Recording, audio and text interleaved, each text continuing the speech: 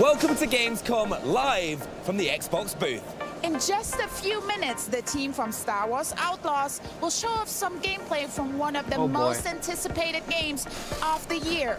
Then we'll tell you how to get into the newest chapter of World of Warcraft, even if you've never played the shit before. on. So excited for that. But later, it's time to talk updates as the squad from Elder Scrolls Online stops by to unpack what fans can expect from this latest chapter and show off some game-changing features. Plus, we've got more from Microsoft Flight Simulator, Fallout 76, and Towerborn, not to mention a new sim that literally lets you date everything. Intrigued? Stay tuned to find out more about these and many, many, many other titles. But first, it's time to throw it to the latest from Just Star Wars. Outlaws.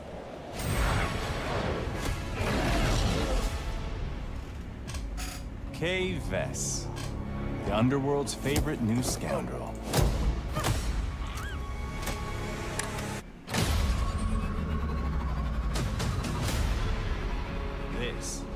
Your one shot. A safe filled with 157 million credits. And I can get you inside. Get in. How about getting out? This job, it's a death wish.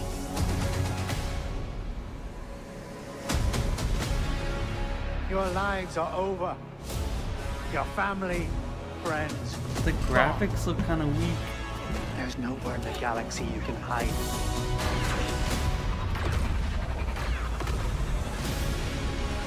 That's gonna be super boring. You want to live? The vehicle combat Get is in not. the underworld's most dangerous syndicates. and pull off the greatest heist the Outer Rim has ever seen.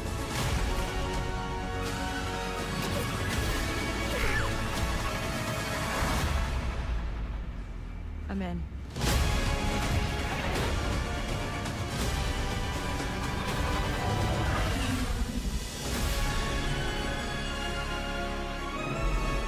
Don't forget to get the gold edition to play oh, am 30 so days early. Because that rowdy trailer belongs to Star Wars Outlaws. And joining me now to talk through this very epic space adventure, please welcome creative director Julian Gerighty. How you doing? It doesn't look amazing. Excited. Yeah, I bet. I mean, that's a hell of a trailer to cut. I mean, Do you know? Do you know what? That's the first time I've seen it. There's some like cool it's- what do you concepts there, It's but awesome. like oh, It's, uh, yeah. The music gets me every I feel like the time. gameplay is gonna I be love boring. The characters, Yeah. the locations look great. So, from a point of view of somebody who's just discovering it, I'm very happy. Good. I mean, can you set the scene for us a little bit? Because although that did give us a little look at what we're going to be getting up to, Yeah. what is Star Wars Outlaws exactly? What is Star Wars Outlaws? So, it's the first ever open world Star Wars RPG First game ever? I don't think that that's true. features scoundrels, outlaws. My favorite archetype of Star Wars. So it's it's That looks really pretty good. giving you the keys to be uh, part of the underworld, part of the galaxy of Star Wars on your terms. Hopefully my mic I isn't too sound of quiet. because you're right. This is a brand new experience for a lot of players. We've had we've had tales about Force Wielders before, but the Scoundrel so important to Star Wars in general, and now to finally play as one is incredible. I mean, that looks pretty good, no?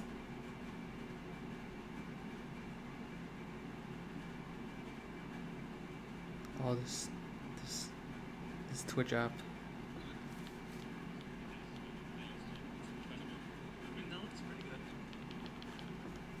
Okay, we're good. And we've seen a bit of Audio Toshara, we've seen a bit of Tatooine. You've picked some great locations for the game, but now we're going to get a little look at the planet Akiva, right? Yes, absolutely. So this is the first time we really dive into Akiva. And Akiva was only ever featured in a series of books called Aftermath. Um, so we're the first to take those words and to transform them into something lush, beautiful, complex. Yeah. And complex not just in scenery, but also in the politics, the dynamics that are happening. You'll be able to see while Kay uh, runs around the streets of, uh, of uh, Myrra, the Are the main city. buildings very empty beautiful. though? It's Can you gorgeous, go Yeah. in every but it's also corrupt. And you'll see that there's stormtroopers, there's an Empire presence, and the Pykes Corrupt. and the Hutts are also fighting it out. So empires and syndicate presence within the city, mm. within the planet as a whole. Well, Well, we'll get onto the just a in just redone a sec, but as I've heard from you before, speaking about the game, one thing your team's really proud of, in particular with Star Wars Outlaws, is those hubs of where Kay can There's get her intel, and that all starts with cantinas.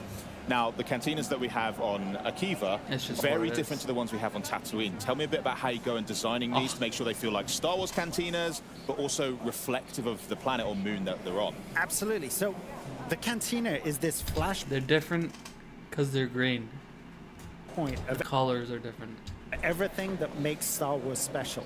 And the approach, the design philosophy that uh, we worked with with uh, Lucasfilm Games really allowed us to Oh, understand like, is there a loading the screen to go simplicity? It's like, relatability, and yet There's difference that all of Cut these scene. locations can can take. So, for example, in the real world, you have jazz bars, you have Korean barbecues, you have all of these different types Yep. of location. So each one of these had to have a different type of vibe. Here in uh, Akiva, it's a tropical tiki bar. so that's the vibe that we were going for there. I feel like Sounds there's not a and lot It's there. obviously a great place to meet up with these crime syndicates and get some jobs. How do they make an impact on the game? So, of course, this is a game about the underworld of Star Wars. And there are four main syndicates. There's maybe more, but there are four main syndicates that you'll be dealing with the Pykes, the Hutts, uh, the Ashiga clan that I'm we not seeing a lot created with upgrades. Lucasfilm Games, and the Crimson Dawn. And you, as an outlaw, are going to be able to work on your reputation with each one of those. Doing jobs for some, betraying others, and building your profile of eight, nice accordingly. So very, very involved in your personal story throughout this adventure. That's incredible. So they will Bike on the form a general structure that Kay can live out this story in, but how much agency do players have to maybe go off the beaten path, Fast maybe traveling. take Kay down some slightly darker routes, or playing the good guy a bit? It 100% up to you. So, for example, here, this is the first time we ever show this quest, and it's a quest where you're Where's all you've the, landed where's all in the a gear? Kiva. Your main focus is to go pick up a Where's all the droid smith, a droid smith that you need to pull off this heist that we've been talking about. 157 It looks super million bare credits. bones, That's like a lot of Not credit. bad, yeah. Bare bones. And to do that, you're going to have to game. upgrade your equipment, which uh, we're doing there. We're Yeah. making sure that your loadout is the right one. You jump on your, Your speeder, loadout and you'll be able to be distracted by curiosity on the way. So you're speeding off, you're on the way. It's quite a journey, Hmm. and on that journey, you're going to be able to do jumps, tricks. Nice. The bike is uh, based on a motocross, uh, so open it, world, it except feels visceral as you're well. just- Right. And you'll be You know, able to come you're across different things. Like here, we have can't go left, a, you can't go um, right. uh, an Imperial shuttle landing. Just do a little- you go and mingle with those people? Do you do you mess around with the here Empire at this point, or do you save it for a little bit later on? Hmm. Because guess what? That droidsmith, he's going to be located in an Imperial compound. Uh, Graphics just our look luck. okay. Just, Just our our luck. luck. Well, Looks- looks how about par. well Looks equipped can the player be to tackle? I mean, it looks good, but like That's not a compound. Every That's game a should look good now. fortress. I mean, what does Kay bring to the table to be able to deal with these kind of scenarios? Well, she, she's got to have the equipment to be able to do that. And that And starts off with things like your binoculars Place to be able to scope the different mark opportunities. There's not just one way in, there are several ways in. The way, the surest way to, to meet an, a very certain end is to go in guns blazing. Because this is the Empire we're talking about. Yeah. So it's a massive force in front of you. We're going to go so stealth. it's open Okay. world because And you drive up. To Binoculars, one thing. Blaster, another. Nix, incredibly another important. Star Wars Let's that just have a recently out. taste of how Kay uses Nix. Yeah. okay. She's going to be Jedi sending her across and attacking, clawing the hell out of that stormtrooper. I feel bad for the guy. That's You shouldn't. You shouldn't. He's there. He, he's That's built for this. okay. You take out the second uh, yeah, that's stormtrooper, and now you have to hack through that laser barrier to be able to get into the gooey good stuff in the middle of that fortress. So there's quite a few different ways of engaging in uh, in a mission. Why do you have to hack in? What? How did the stormtroopers get out if you have to hack in? Why can't they get back in somehow with a, a key pass or or something? Where? How are they? How are they supposed to get back in? Like if they, like they have to. they have to communicate every time. They can't just like scan a card and walk back in to open the gate. like this. Absolutely. Um, what would happen if we You have to play did this go in minigame. all blasters blazing? Would it be The- a big problem for us on this particular mission? This is an Empire compound, so that's going to be a real problem. Okay. I'll take your advice on One of the conditions is that you don't set off the alarm, because if the oh. alarm Oh. sets off, you're going to shut down that compound. Fair enough. You may revisit the compound later on to be able to, to steal more stuff and to, to really find all of the treasures. And there, you can do it the way you want. But ATSTs guarding the door, you've got a blaster in Nix. Maybe it's you just really want to put yourself the in door? that sort of situation. Uh, I could Seems take my chances, honestly. um, earlier on, though, we did see with Kay's using her blaster now, but before that, she was working on it a bit on her workbench. Yes. Um, i inside the Trailblazer. That- what What is that all about? Is that like That's- upgrading? Or... Yeah, that's absolutely upgrading your weapon. Okay. Because we want this to be about a, a resourceful underdog. Wait, And a how do the stormtroopers get up here? that, What, They what is- also have to climb this. Before that, she was working yellow on it a bit on her workbench. Yes. Um, i inside the Trailblazer. That- what What is that all about? Is that like That's- upgrading? Or... Yeah, that's absolutely upgrading Where's your the practicality? Because we want this to be about a, a resourceful underdog. And a resourceful underdog, they have one main tool that you can upgrade. You can have a charge blast, which is like a rocket launcher. What? And, uh, plasma, which is the regular blaster, Right. with speed mode to it, so it feels like an automatic weapon. And you have uh, one uh, function, which is the, the shock function, Hmm. which we'll see a little bit later on.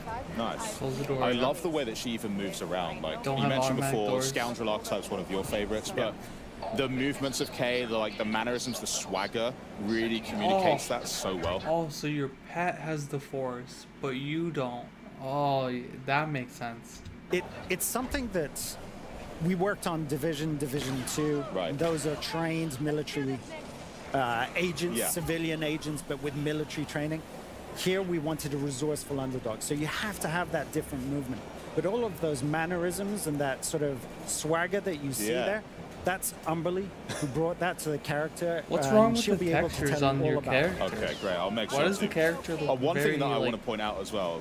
We did just talk about the blaster a little bit. We're getting to see some of the sense. action over Very there. blurry. Your nice shot, character's the very blurry Um, and, like, the sound of it too. I mean, in Star Wars, there are so many sounds that are iconic. Players, you know, when we listen to them, it makes our the hair. on our if you close your eyes and think Oh. TIE fighter Yeah, Tie Fighter. I'm thinking like the the, the seismic charge. Yep. Oh man, yeah. But Kay's blaster also has a really satisfying punch to it. So, tell me about the process for making sure that you're designing a weapon sound-wise, the feel of it, the look of it, making sure it's authentically Star Wars, but also brand new, something that you've created. We have to get inspiration from the past, get inspiration from the original trilogy because this uh, this adventure happens in between Empire Strikes Back and Return of the Jedi. Right. So we we had access to all of those things, and then the pleasure is looking at that, working with that, and coming up with something that sounds new and that become its own sound, and that extends from the sound design to, you know, the music of the piece, which. I think is remarkable. You Yeah, heard it in the gorgeous. Trailer. matter. It's just an enhancement. fantastic. Anytime I hear the horns, honestly, I'm goosebumps. it's crazy. So we finally find our droid smith here, then I guess. Yeah, who's not particularly happy to see you. So I'm not oh. going to spoil the, the story, but the droidsmith, Gadik, has a past with you. Okay. And he's, he's ended up working with the Empire, so you know he's made some really bad decisions. Oh decisions. dear, yeah. It's not great. I mean, he's already got a, a protocol droid firing a gun at us. I never thought I'd see that. But I got a problem with a gatekeeper droid. ah, now that's that's caught his interest. That's caught his Yeah, interest. interesting. There's a real challenge, there's Yeah. a real opportunity. It's not motivated by the credits, but tinkering around with some uh, some new tech. I like that's it. what catches his, uh, his eye. I could get on with this guy. but the problem is, once we extract Gadik, we have to get out as well, right?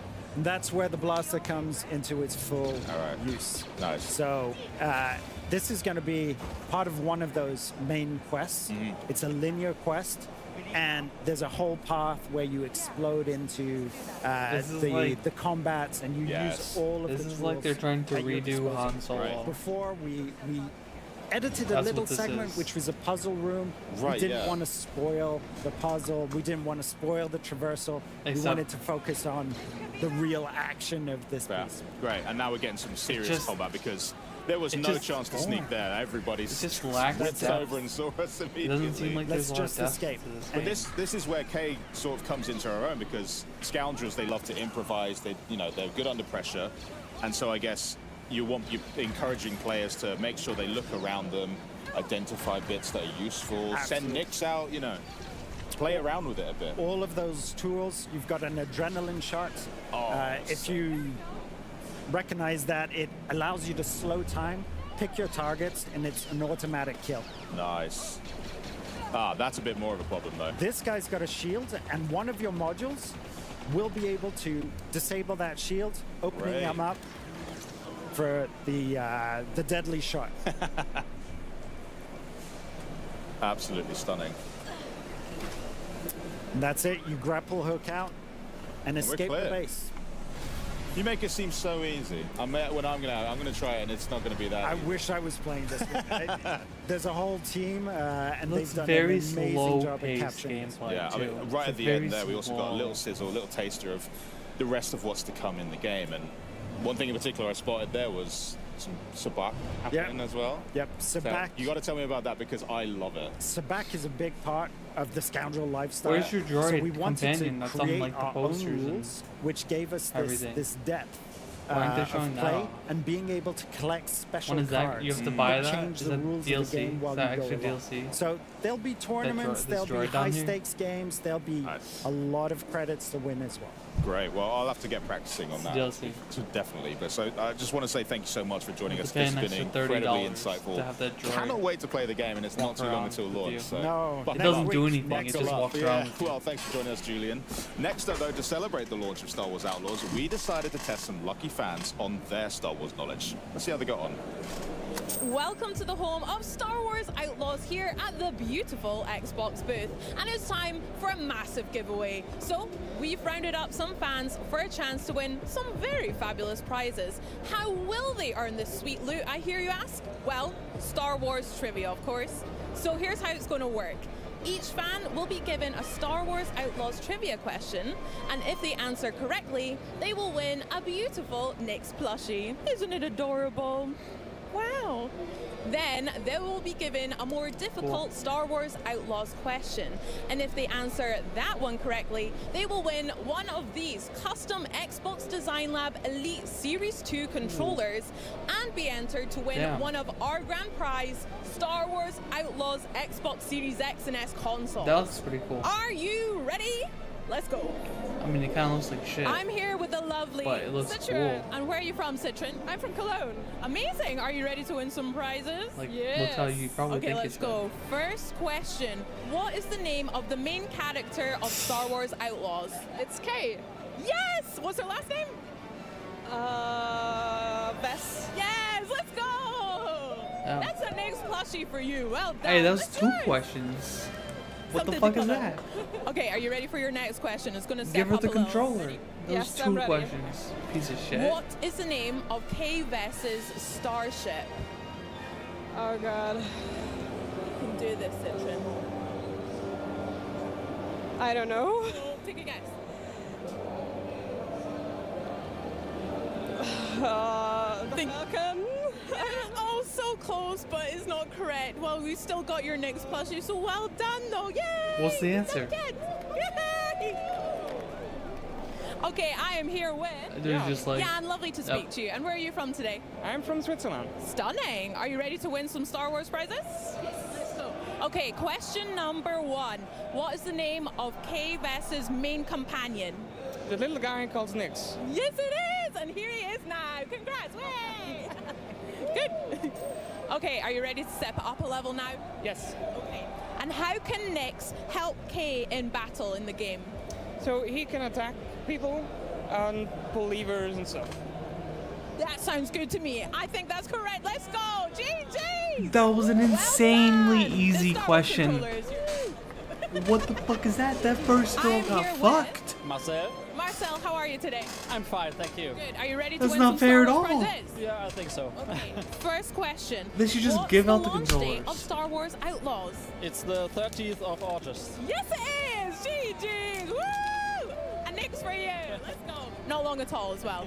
Are you ready for your next one? Oh, yes. Okay. Between which two classic Star Wars movies do the events of Star Wars Outlaws take place? Uh, the Empire Strikes Back and the Return of the Jedi. Let's go! Well done, Damn. Marcel. You win the controller. A true Star Wars fan. GG's. Well done. Yeah, thank you. The shift question was so much harder.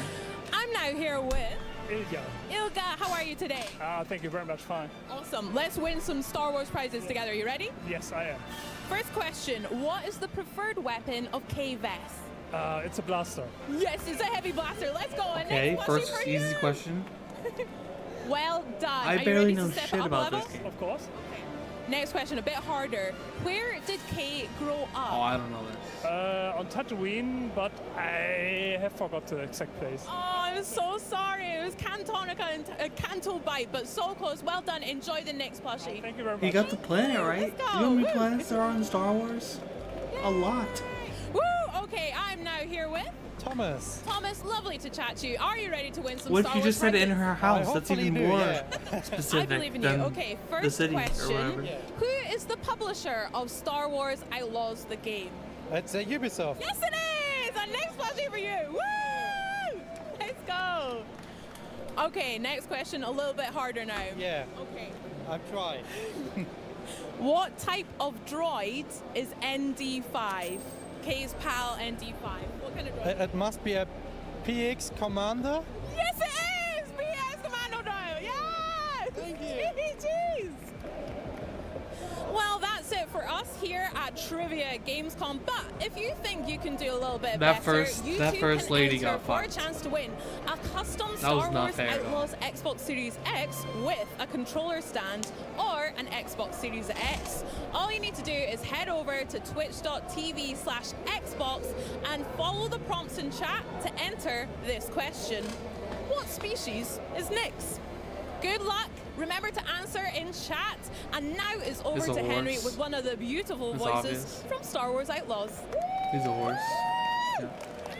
Hey, they did pretty good. But joining me now is Kay Vess herself, Humberly Gonzalez. How you doing? mecha Happy to break be in here, exciting. They did pretty good on the quiz. They did. I was answering along with them. Yeah, G got them all right, obviously. Obviously, Nix did too. We're Yeah. we're. He's yeah. got his drink, he's happy. He's so Yeah, it's good. perfect, great. Um, now, I'm the sort of Fortnite person that loves to know uh, a Star Wars fan Tower Born. in particular. So before we get into talking how you're actually in the game, Mm-hmm. break down for me. What was anything your else? first like Star, What was your Star Wars awakening? How did that come about? Well, I grew up in Venezuela, so it was all in Spanish, and it was Guerra de las Galaxias. So you know that's something I love about Star Wars is that it doesn't matter the color of your skin, what language you speak, where in the world you are, you all have a Star Wars story, and mine just happened to be. On The other side Yeah. of uh, you know South America, Except so if you're white. it's exciting, you know, when I got to share about it um, with my family and friends. I got to They don't to relate that to anymore. it in my language, in my culture. What was their reaction when they first found out that, by the way, I'm actually going to be in it now? Uh, unreal. This I mean, person's there was in a it? lot Who of is this? I think my family also, especially my parents, they started watching all of the movies. That's uh, how- especially when I shared that it was in the original don't- trilogy between I don't know who Empire and you know Return of the Jedi. character So they. I did too. I think I like blasted the Star Wars theme song and I watched the movies. And anytime I see anything Star Wars, I just have this like Star Wars. you know? Part of it. I'm like, yeah, that's us, yeah. that's us. Um, in terms of Kay and, and playing the role of a scoundrel, where did you have to go for that? What did you have to reach into Oh. to sort of conjure up? Oh, up she plays the this video character? game character. I mean, obviously, we've seen scoundrels in this timeline, like the likes of Han Solo and Lando Calrissian, but they're so confident. They have the expertise. They know what they're doing because they're out. Why there didn't they the just model the character Uh, after unlike her? Rey, she's a rookie. She looks way better than what they did with the actual but, character. You know, she she's a survivalist and What the hell is that? Look at Stellar Blade. of odd jobs and Canto Bight and their dreams They did a huge more. disservice. I, I love the attitude, you know, the charm, the witty banter, the swagger that they have. And, you know, those characters were obviously inspiration, but Oh, she's uh, trying I way got to too try hard in whatever to bring my own was. heart to it. You know, Kay She's Vess trying way has too hard. It flaws. She's imperfect. she has a you know? vulnerability that um, I feel I brought to the role even from the first tape that I sent in back in 2022, you know? So that's something, you know, it's a, it's a collaboration from the whole team. Well, the whole team is really important to it because when you're playing through it and you, he you he even hear the like banter between Kay and ND5 and you're like, God, I really am a Kay Vess. This is so relatable. Yeah, it's, yeah. it's awesome. Yeah. What's it like working with a wider team then on building a new cast of characters to put into a franchise like Star Wars? Do you have to work together too much or? Absolutely. I Yeah. mean, when you walk into a franchise that's already established, I guess you understand so much of it, the tone, you know, just kind of the general vibe of what we're making. But because it's motion capture, Right, you yeah. require so much aid in visualizing what the world is going to look like. I don't have the luxury of relying on sets and costumes and hair and makeup. I mean, we're in the mocap studio in like these cat suits, wetsuits with these markers. We're in a volume surrounded by hundreds of Look at the infrared cameras that are capturing our every animal thing they're movement. It's a lot more intentional. You have to Mm. have this awareness of your body and your instrument. And you rely so much on the director, the writer, the storyboards. Sometimes they say, okay, we're about to do this kind of scene. So they pull up, you know, inspiration from the TV shows, from movies Right. that have previously been done to capture just the air of what we're trying to make because we have to create it in our mind's eye. So that must be a completely different way of bringing characters to life compared to like film or television, which you have done before. And Yeah. you have worked in games before, but this is clearly the most involved project that you've ever been on, right? from top to bottom. I mean, I'm there every day in almost every scene. I've recorded over like 11,400 lines for the game. So I hope you enjoy my voice. You're going to hear a lot of it. Uh, it's it's expansive, you know, Yeah. and it takes years to create it. Not They've been working on it it. for a couple years before I jumped on uh, back in 2022. So it's a long process. It's it's an incredible journey. I truly have grown alongside Kay Vess. So even though I've done video games before, leading a game requires a lot more responsibility. But I was ready for it. Totally. I, I can't wait to play the game, honestly. It just looks absolutely incredible. Surely they had a real life Nix at least to, to help with that. but- Obviously, we Yeah, had yeah, him yeah. on set. Yeah, of course. the inspiration's there. Well, unbelievable. Thanks so much for joining me. I cannot wait to play the game. It's not too long till it launches either, so I know. you're going to get to see how other people react. It's hitting people on August 30th. I'm going to get my Sabacc face Yeah, ready we'll for see. it so that I'm good to go. Keep But your uh, cards close. Very close. You can use Nix to cheat, Yeah, but don't tell anyone. He's great for that. I'll right. try well, it I'll if let it's on the rest Game of your games, Pass. Thank you. Otherwise, Coming up, we celebrate 20 years of World of I'm Warcraft with the new War Within expansion. We're going to find out what fans can expect from the latest Elder Scrolls Online update. And next up, we're catching up with the team from Two Point Studios on their latest title, Two Points Museum. But first, the die has been cast, and that is only the beginning. Check out the new expansion coming to Lost in Random.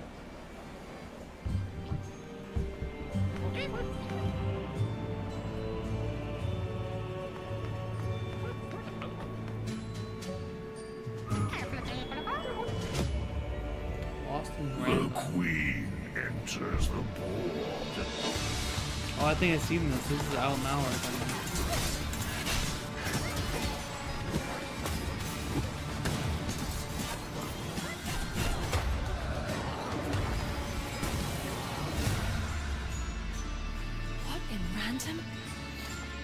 not So dead, roguelike? Fortune. A dice wielder. Oh, luck has finally turned. Anyway, what you having? It's a roguelike. Let's make this one count.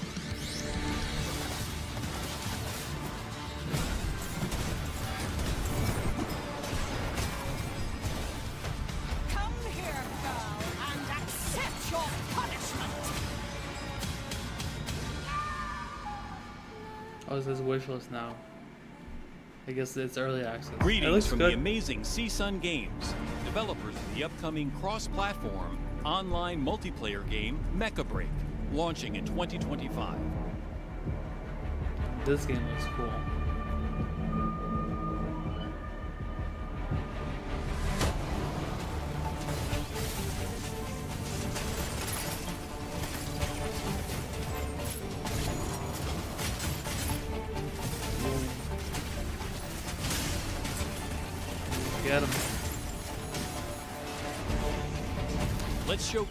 Gameplay through Mecha Break's core mode, 6 versus 6 squad missions.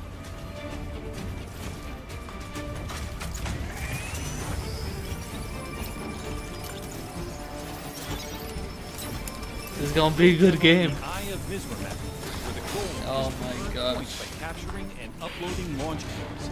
The striker we're featuring is Falcon, a lightweight mech that excels in aerial combat.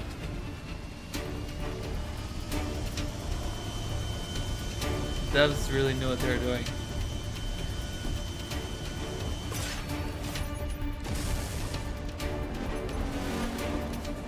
Players can maneuver during their dive into the fight, controlling their landing spot at the match's start to open strategic options that can turn the tide of battle.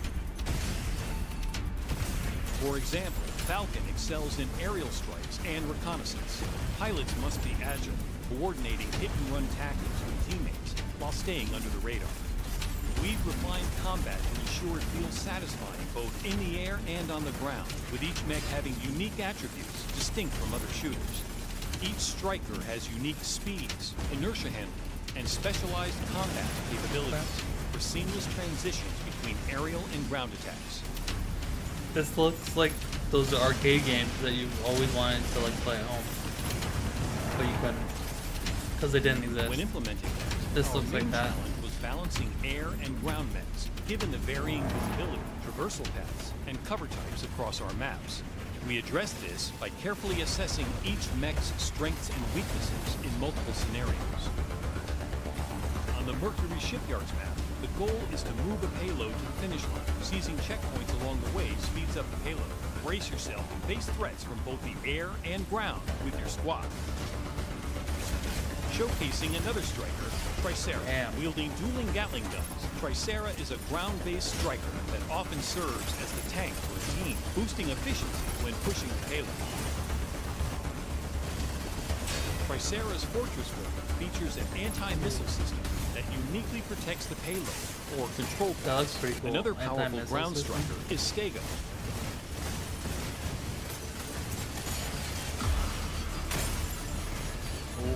When transformed, Stego specializes in long-range fire support as an ultra-heavy striker armed with the big guns. On the Krog sinkhole map, the goal is to collect mining data by capturing data nodes, making teamwork and strategy essential. Panther is a brawler equipped with a powerful lance and shield booster kit. Panther's devastating charged attacks and defense capabilities make it a fearsome opponent in close combat. But Panther isn't the only brawler in Mecha Break.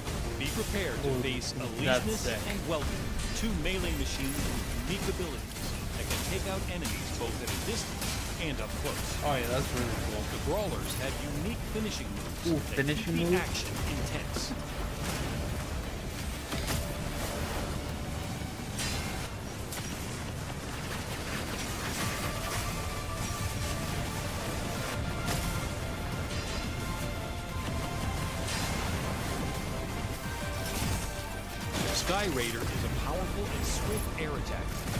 Transform into a bomber to rain fire on enemy forces.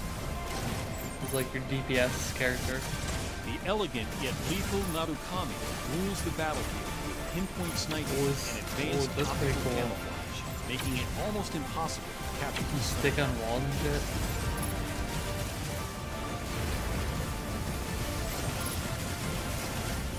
We invite you to join us on this exciting journey with Mecha Break. Stay tuned for its commercial release in 2025. That looks really good. Welcome, esteemed guests, to Two Point Museum's Coastal Deep Dive. The Marine Life Museum in Two Point County is, just as you'd expect, situated along the coast and boasts a treasure trove of Wetlantian exhibits. Or at least it will do once you've hired some experts and sent them on perilous expeditions to unearth rare, but sometimes soggy sunken treasures. Discovering and maintaining the happiness of aquatic life is also a big attraction of the Marine Life Museum. And fish have a surprising number of requirements to meet if they're to stay happy and, uh, swimming. Guests will be wowed by the remnants of Wetlantis, and the more impressed they are, the more they will donate. The more donations means more funds to keep your facilities clean, everything nicely decorated, and vending machines well stocked. Once you uncover the Marine Life Museum, you can then hire Wetlantian experts in all your other museum locations. From there, you can grow your aquatic collection throughout your Two Point Museum empire. Thank you for attending this coastal deep dive. Great. Wish list now. If you've ever dreamed of running your own museum or just really enjoy the Two Point series of games, then listen up because our next guests have the game for you. And me, here to tell us all about Two Point Museum, please welcome Two Point Studios Design Director Ben Huskins and Executive Producer Joe Kula. Welcome to Gamescom, to Cologne. It's great to be here. Great to be here. How is Germany treating you? Oh, absolutely love it. absolutely love it. The It's weather such a is great. good? The atmosphere is incredible. Yeah. It is. A little bit too warm, but that's okay. Like the That's weather is okay. good. And they the wall, the geoengineered that this cool, week for So everything okay, and today's the first consumer day, so we're really excited to have Yeah. you here. So, Two Point has taken on um, education with campus, on medicine with hospitals. So now, Ben, how did you come up with the idea, the theme of museum, and why should fans be excited about this game? Yeah, well, the Yeah, thing that's great about museums is that they else? have uh, these amazing collections of completely unique exhibits. Um, and as soon as we started talking about museum as an idea, we got really excited about what if we let players build up their own unique collections of exhibits. Um, and, and that got us thinking about, well, like how do the players get these exhibits? They, they can, um, steal them. you know, they can send their else. experts off on expeditions around the county. Uh, they can basically explore and discover. We really love this idea of getting across this sense of exploration and discovery and anticipation about what might come back when your your team comes back from an expedition. Uh, and this just got us really excited about you know getting these exhibits and then of course once you've got them putting them on display in your museums and and actually that whole side of it as a museum manager you deciding how you lay things out and you deciding where do you put your most impressive exhibits uh, where do you want to channel your guests through the museum and how do you give them the best possible experience I've got some ideas, but um, I've also saw in, in the trailer that you welcome families. I saw a lot of little children climbing on very precious exhibitions. So what do we need to look out for when we're welcoming those visitors? So we were really excited to introduce children to Two Point County, um, and I think um, it's just felt, felt like such a natural fitting, a natural place for them to be. Uh, and with children, we've been introducing family groups, we've introduced school trips, and all sorts of. They're kind of like little agents of chaos, and they make a right mess of the museum, don't they?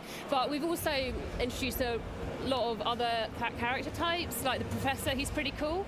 Yeah. So he, he likes knowledge, doesn't he? Yeah, yeah. So when professors come in, you need to focus a bit more on education because they're going to donate money based on how much they learn about all of your exhibits. And then you, if you've got frozen items, you'll Yeah, get get the Yetis. I Yeah. love them. I love the frozen exhibits particularly. So you always have to maintain your exhibits. So with frozen items, you need to have your freezer cooler, um, and then you'll get Yetis come to visit. So if I have all these visitors, how do I keep them happy throughout the game? So I particularly like love decorating. So for me, I keep my visitors happy by making a water beautiful museum. exhibits. So I look, look into the customize option, customization options, the lighting, like that's not a decorative museum, it's items, aquarium. and try and make a really incredible like space for them to enjoy. There's some Yeah, Joe's there. museums are, are usually a work of art, uh, whereas my museums, uh, I guess my philosophy is more, you know, fill their minds with wonder, empty their wallets. that's nice. more my Oh, Yeah, approach. that's so straight on. my, Now you're my museums tend to end up being a bit of a hellish labyrinth where visitors have to go through about five different gift shops uh, before they can escape the museum. Don't get me wrong, they still have a good time, they just leave with no money. So in another world, you would Uh, be the- managing a Then theme park the also. last gift, Well, gift exactly. shop they, uh, they get I robbed. get it. So is each museum restricted Make to sure one exhibit type? money. So you can actually put any museum, uh, any exhibit in any museum. So we designed the game like this because we wanted the players to really have freedom to build and design the museum however they wanted to. And I saw definitely something new, which are unique fish in the game. So can you tell me more about the creation of these odd sea creatures and how we can enjoy the fruits of that labor? That person does So we not have lots of fun coming up with the ideas for the fish. I think with the exhibits in our What is games, sometimes we kind of pull on pop culture references, sometimes it's an idea for an animation, a joke or a pun, but with the fish, we kind of leaned quite heavily on real life reference. But then try to inject two-point humor and charm into it. So, like for example, we've got the pufferfish. He's my personal favourite. He's very cute. He's got goofy eyes, puffy cheeks, and you can actually get him as a uh, plushie in the gift shop, which is super cute. We've got the clownfish. He's small. He's got a red nose, uh, so that's quite like on the nose. Uh, uh, we've also got like the bull shark, who's kind of scary looking. He's a shark with a bull ring, and you actually have to keep him separate. Or I do because he does eat the little fish.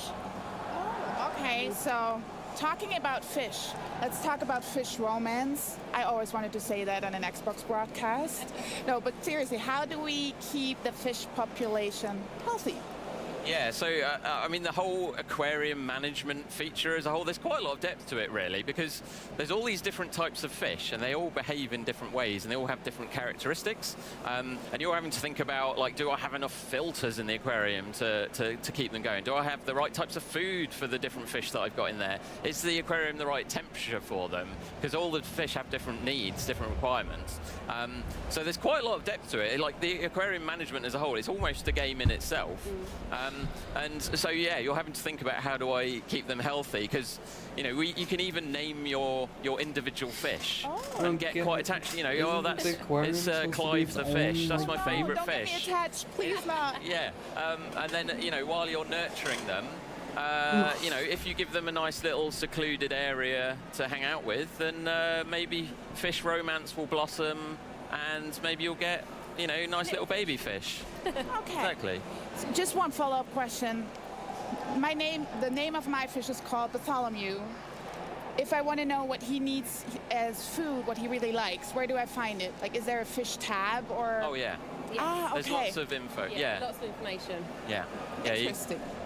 And then how do you actually level up the whole museum?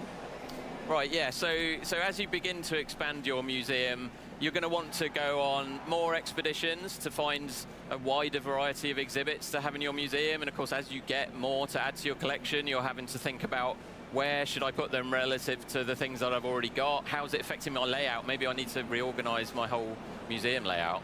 Um, and as, as, as you get more things, the, the visitors will want to stay for longer in your museums. Uh, you're going to need to put down, you know, cafes and, and you know, other facilities to keep them happy. Uh, otherwise, the kids will get bored and then they'll leave and the parents will be really angry. And um, so, yeah, you need to build up your collection of exhibits uh, and and just keep um, keep those guests staying as long as possible. Uh, and, and the thing we were really keen to do with museum is what we found is people get quite attached to their museums over time because as you build up that collection and you're having to look after them right because you don't want your fish to die Bartholomew. Yeah.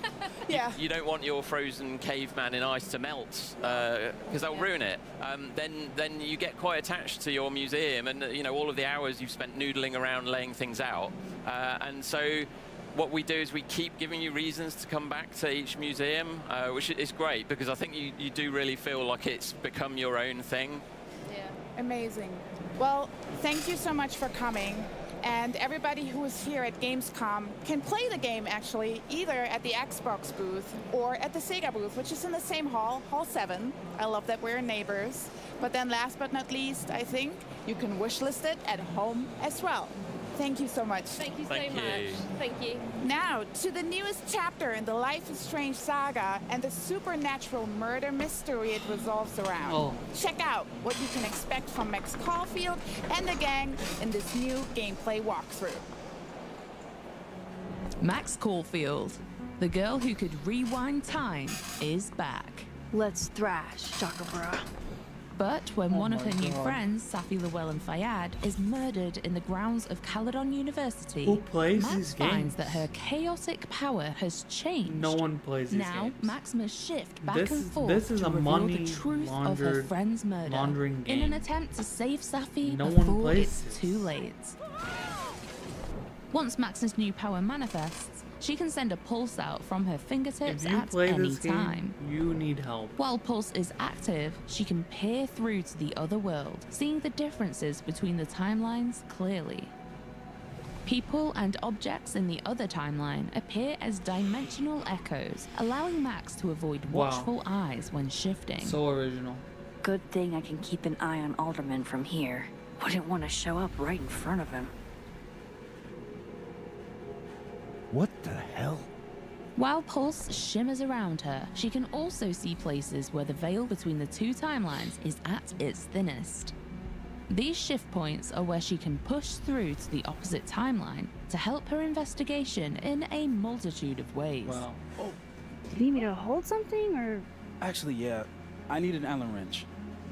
got one around here? This No, would have been way better as a from Carla, TV but I show think she took it back. than a If you can go grab that from her, I'll Well, owe you. like, This could be to solve a puzzle, you know, convince a character to reveal a secret, or retrieve an object lost in one timeline by borrowing it from another. Better give this wrench to Moses. borrowing it. Shift points work in both directions, so you can Can never shift be back and forth from the same spot. So I found this guy named Alan, but he didn't know anything about a wrench. No, Max, not literally Allen. It's. Oh. you are a lifesaver, Max.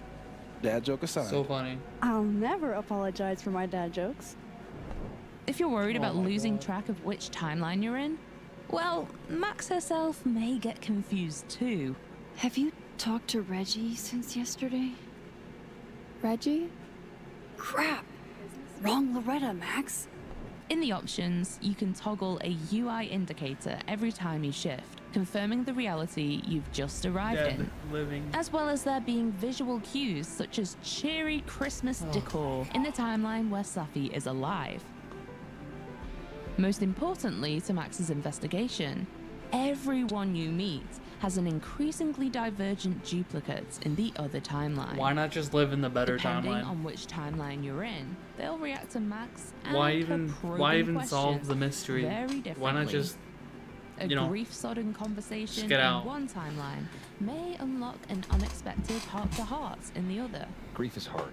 No game. The trick is not to let it change your character.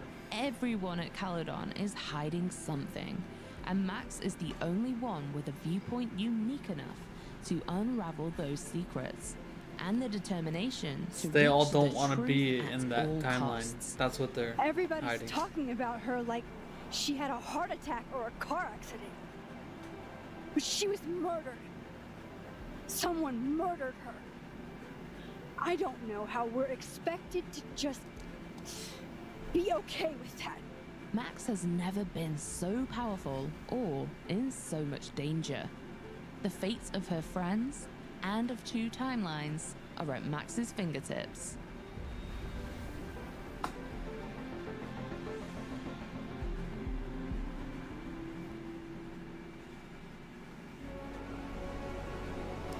Um, okay, what's this? This wow. This wow. This looks, this looks kind of cool. Ooh. Wait.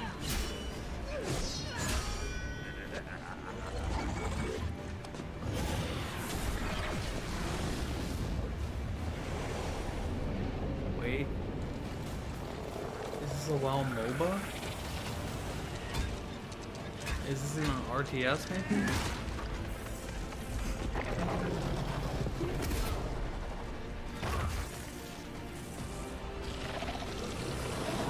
Ooh, in trouble.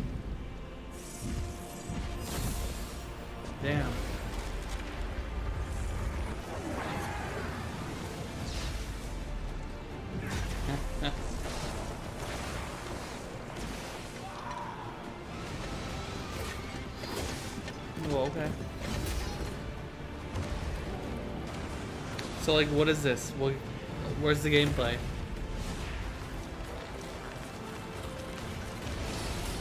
That's cool and all. But like, what, what is it?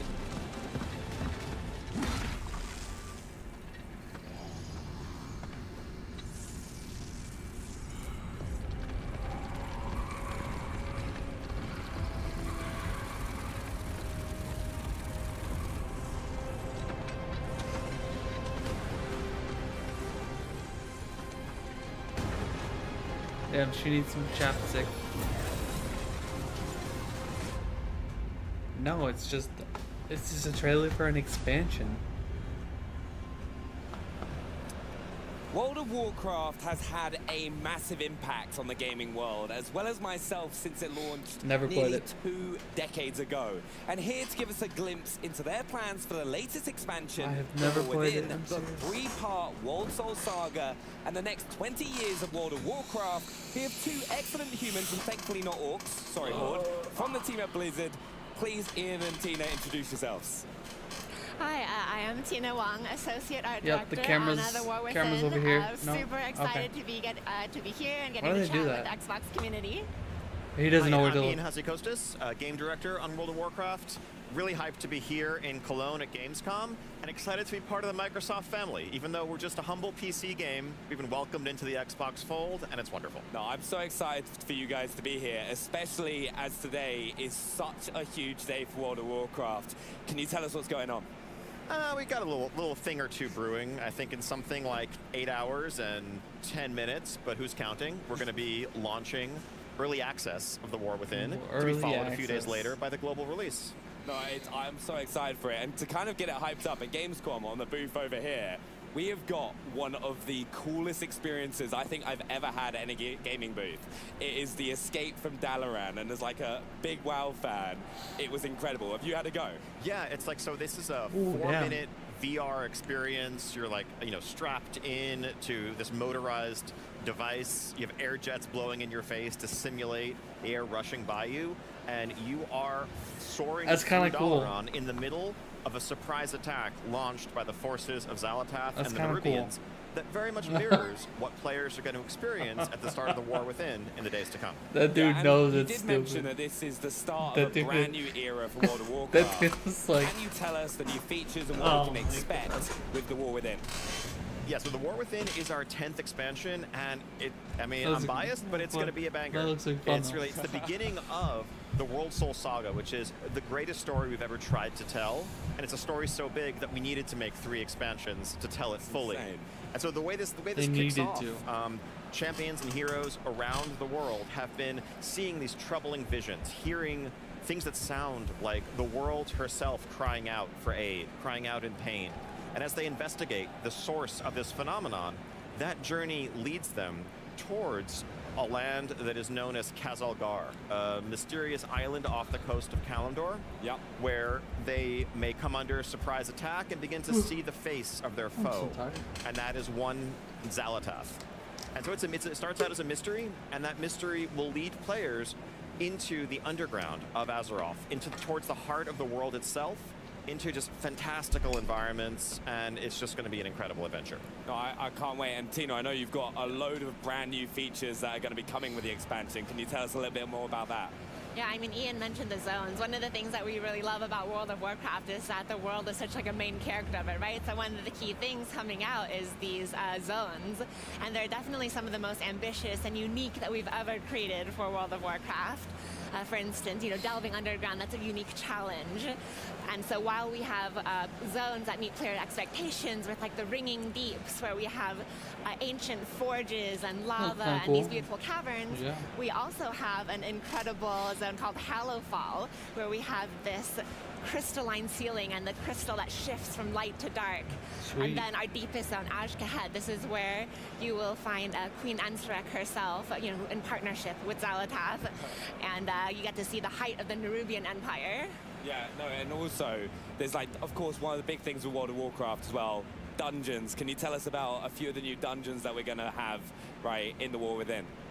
Oh yeah. Uh, so one of the uh, fun ones as part that you get to experience as part of the story is um, this one that's the the, the rookery that you find on uh, the Isle of Dorn, and so you get to experience part of the culture of Khaz Algar, seeing these uh, riders, these storm riders.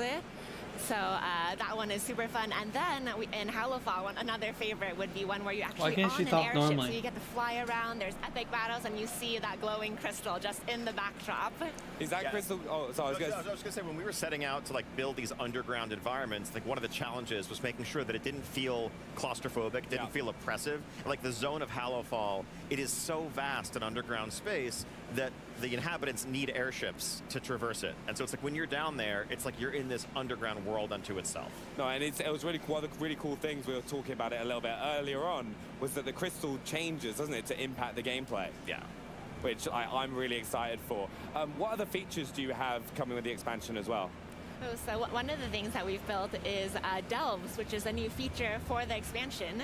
And something that is a priority to us for Delves is that it really caters to um, a group of our uh, our audience that historically has been a little underserved by the end game progression loop Yeah. that we have for those who maybe raid or do Mythic Plus. So these ones, are outdoor world players, as we call it. We want them to feel like you're adventuring through the world and you come across just this uh, mysterious location, whether you're diving into a sinkhole or uh, seeing some tracks lead into a dark cave. We want you to be able to uh, encounter these and still increase the difficulty level as you play so that you Yep. can uh, progress your item level week to week.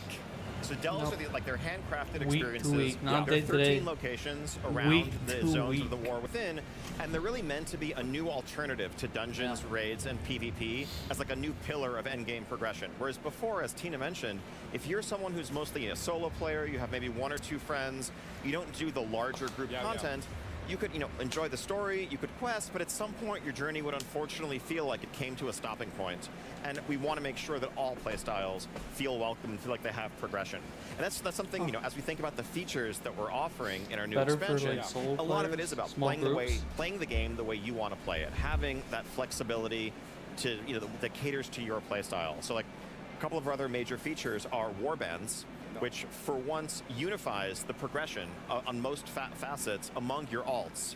So instead of having every character needing to earn reputation separately or their own currency, your all of the characters on your account are now part of a warband. So the first thing you see when you log into World of Warcraft, the War Within, is going to be not just one character standing there stiffly, but multiple characters huddled around a campfire representing your band of adventurers that you're taking into Azeroth. All that grinding, getting all your characters ranked up and leveled up, just seeing them all together would be amazing. It's honestly quite sentimental to see them all hanging out. I have to make sure I do all the transmogs like all correctly and just make sure they all look great. Exactly. Ex- And then we've already seen people like taking screenshots and sharing them of like, this is your lineup. And then, yeah, like, I mean, we've, we've reimagined the way flying and traversal work in World of Warcraft. There's a like dynamic physics-based system called skyriding that's more than like double the speed of what flying used to be back in the day. And so like just getting from point A to point B should feel exciting. It should feel like an adventure. And that's what we're trying to offer. I always used to love that. I still remember the first time Burning Crusade where I got my flying mount for the first time and I had like 60% move speed and I was like, I'll get there eventually. Just give give me some time. Yeah, th- these are more like 600%. Oh yeah, So- that's that, that's gonna be way faster. Just do some tricks and blitz Just a across. Yeah, that's amazing. Um, one of the other big things with World of Warcraft is there was a perception for like older players and like players that people have never played before. The War Within, you've kind of aimed to change that. Can you tell us a little bit more? What can players expect when they log in for the first time? Yeah, I mean, really, it, it's features like what we've just been talking about. It, it's you know making sure that there is a deep solo experience if that's what you want. If you only have a little bit of time to spare, those delves take 15 to 20 minutes. Of course, if you want to, you know, if you have hours on a weekend, there's an entire world to explore. We have hardcore raids to challenge, you know, the, the, the, the boldest of adventurers and their friends as they coordinate to overcome these challenges. But I think, you know, World of Warcraft is a game that can be played in so many different ways today to suit your, you know, preferred content, play style, available time, and that's something that we really want to just keep doubling down on. Yeah, no. Yeah, a lot of people when they think about World of Warcraft, they think, oh, it's like too big, there's too much stuff to do, but really it's like, it's a world and that everyone can play the way that is fulfilling to them. Yeah, and there's also opportunities just to hop straight into the new content as well. It's one of the things I've always liked. Like our whole Xbox On team, when Classic came back out, we all hopped back in for one of those reasons. Exactly, and I think as any any WoW player knows, you know, a new expansion is the perfect time to come back to WoW. I think the War Within, in particular, because of the fact that you know it's kicking off this brand new story arc. We've also revamped the new player experience, the level up experience from 10 to 70 that gets you to the War Within, to be our, our latest expansion, Dragonflight. Yeah. So you're if you're coming back or you're coming in for the first time, you are playing the latest, newest content WoW has to offer, learning the ropes, and joining the rest of the world in the War Within. No, I'm really excited. And also, World of Warcraft, I can't believe I'm saying this, is coming up to its 20th anniversary. What does that feel Yeah. like being a part of the WoW team? When is the when are they putting this on console? Why It is this at the it is humbling, Xbox Games Truly, I have, you know, I've been Showcase? playing the game for all Is this on Xbox? I've, I've been on the Or what? team for 16 years now. Like, what's for the- like, it's large Gamescom, but, my like, adult life has, has really been Xbox shaped at and by this Gamescom game, is where and we're it's watching an honor. it. And I think you know, it's I'm so excited to celebrate Just that saying. 20th anniversary coming up, but also kick off many many years to come. Yeah. Yeah, I'm also a longtime veteran in the game, playing since the beginning, playing since Warcraft 3, and been on the team like 14 years now. And there are so many of these stories on the World of Warcraft team, and you can see that in the what we put out there. Just people putting like their passion and their history with the game into everything that we make. No, it's, it's, it's amazing. Like, I personally love it. I can still remember growing up playing from the Burning Crusade, Wrath of the Lich King, and it's so exciting to hit that 20 year mark. Yep. But for 20 players that years. are looking to get involved in World of Warcraft for the first I've time and become part of the community, years. what can they do right now? You have the Yeah, I best mean, gear, so, right? You know, we're, we're talking about an I've been playing for basic World of 20 years, so you have you everything unlocked, right? In our starter edition, you can level up to 20. Uh, you can been playing for the 20 Dragonflight, years. and you know, just go to worldofwarcraft.com, download BattleNet, install it, jump in and check it out. No, I also I'd really recommend it. It's one of my favorite games of all time, and it's no surprise it's coming up to the 20 year anniversary. Um, do you have any final thoughts that you'd like to share with the fans?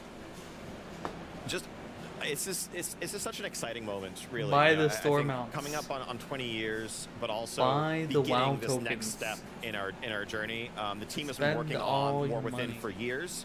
We have so many years of content ahead that we have mapped out, that we have planned out. It's going to be this incredible journey, narratively, in terms of the world we're building, in terms of the features, and just we're excited to welcome everyone in to begin it with us and buckle up because it's going to be a heck of a ride. Yeah, no, I, I honestly thank you so so much. I've got one one also final question: Horde or Alliance? Wow. Depends on my mood that day. Fallout Safe 76. Safe answer. Safe answer. That is the same. What about you, Tina? My, my mood is more often Horde. Horde. It. Um, it, it's shifted over time. Currently, I'm more playing Alliance. See, see, see, that's why I like always the alliance. I've, I've been alliance since day one, right? And uh, I will stick to that with the war within. But honestly, thank you so much for joining us. I really appreciate it. You taking us through the war within. Uh, but here, uh, also, just a pro tip to avoid your own war within. Please check out World of Warcraft, the War Within expansion, when it launches August 26th. Pre-order now. up, We'll give you a tour of the Xbox booth right here at Gamescom. Check out what studios have in store for fans here. And also, we celebrate a decade of Elder Scrolls Online with a look at the latest chapter, Gold Road. We also unveil the real name of Project Birdseye. But first, it's time for a cinematic horror experience. This is the casting of Frank Stone. The casting. of This Frank place Stone. is like super duper Creeptown, right? Everything's still so fuzzy about what happened, but there's one thing that always just stuck in my mind.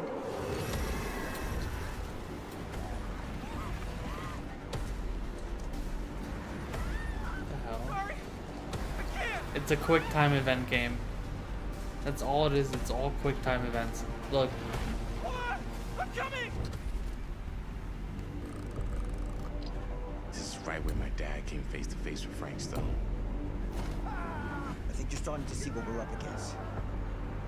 Your call, Chris.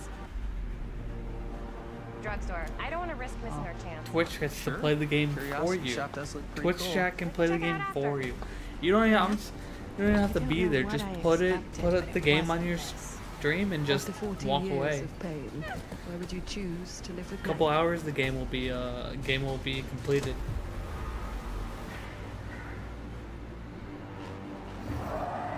You're not okay, are you? I'm sleepwalking through a nightmare and I just can't seem to wake up. Damn. There's no reward for me when I've done what I've got to do.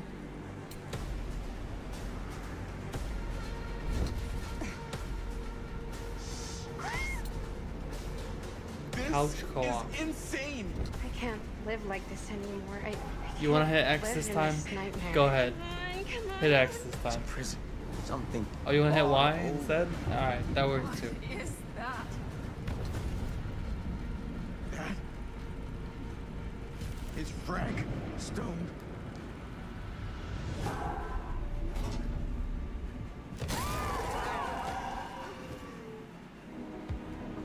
Welcome everybody to the Xbox booth. This is our home for Gamescom 2024. There is so much to do here. There's so many experiences. We've got Xbox, Bethesda, Blizzard, and Activision all under one roof. We have so much to see, so I think we should just split up. Sounds good? Okay. All right. Over here at the Age of Mythology Retold section, you can get your photo taken with some certified gods and goddesses. But Yeah. over here's something even cooler, because we've actually got some game stations set up where you can play test the game. This right game looks pretty good.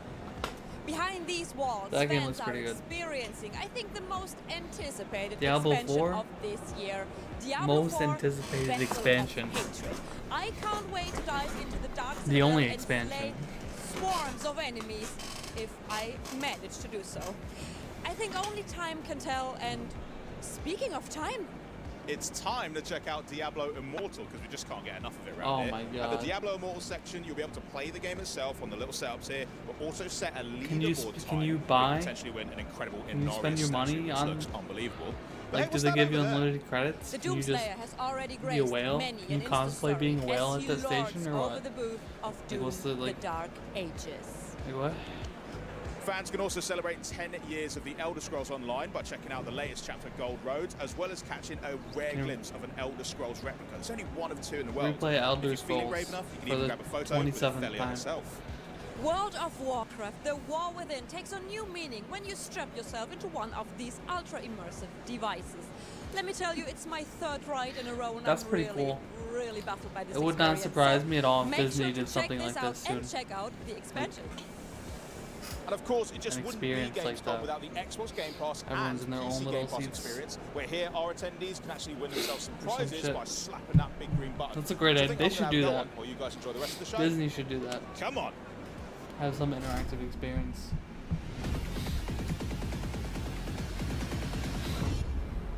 Hill Knight.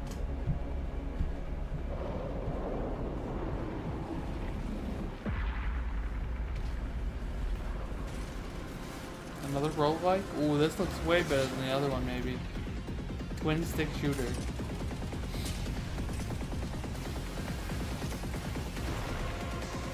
Five Eldritch Slayers. Okay. Solitude. Entanglement. Viscera. Echelon. Reflection.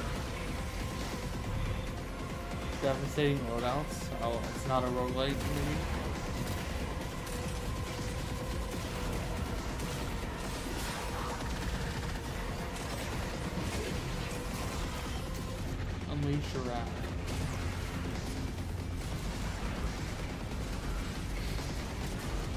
Oh, this looks like a lot of fun. This looks like fun. This looks good. Global leaderboards. Oh, okay.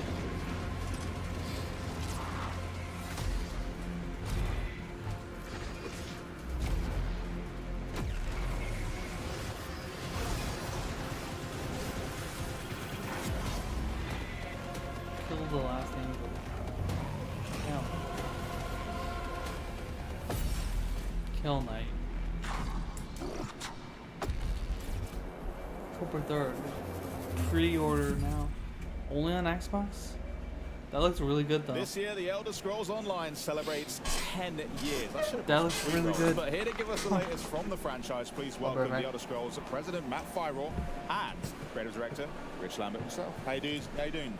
Great. Great, Uh, yeah. Great to be here. It's great to be here in the Xbox booth here at Gamescom. I mean, you guys are no strangers to Gamescom in general, so you- you're aware of the behemoth scale of everything. But I mean, this this is something else for the Xbox booth. It's great to have like a whole team together for it, which is which is awesome. And uh, you guys are on the booth as well, which we'll talk about in just a little bit. But what I want to get into is the fact that it is 10 years. That's that's really special for a game to, to go for that long. And you guys thought, well, let's make a big deal out of it. Let's celebrate. So how are we doing that in game? Yeah, well, you know, it's been uh, 10 years since we launched, but it's been uh, like 18 years since we founded the studio. So we've been working on this game a long Forever, time. yeah. And, Rich, and Rich and I were both here in the very beginning. So, uh, but yeah, we're, we're celebrating. Um, uh, obviously, we're here at Gamescom.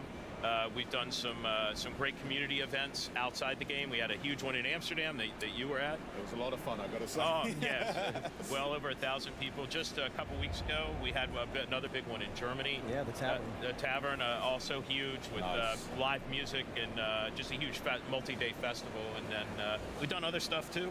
Uh, uh, yeah, I mean it's countless, right? We've got new things planned. You know, in the future, you know, we're going to be at uh, TwitchCon, and then also we've got an Australia event coming up too. So. Yeah, and, and inside the game, you know, we've had uh, just back-to-back events, just celebrating 10 years. So we we're giving lots of free stuff away to players in the game, and it's all a lot themed around different chapters that we've had over the years and different characters and uh, and everything. So it's it's just we're really trying to do Gold you know, pull out all the stops Elder and have uh, have a great inside the game Online. experience, and, but then also bring it out to the to the fans out out out in the real world. Well, let's talk about that outside of the game uh, perspective because you do have pretty substantial uh, Yeah, little segment really over cool, there.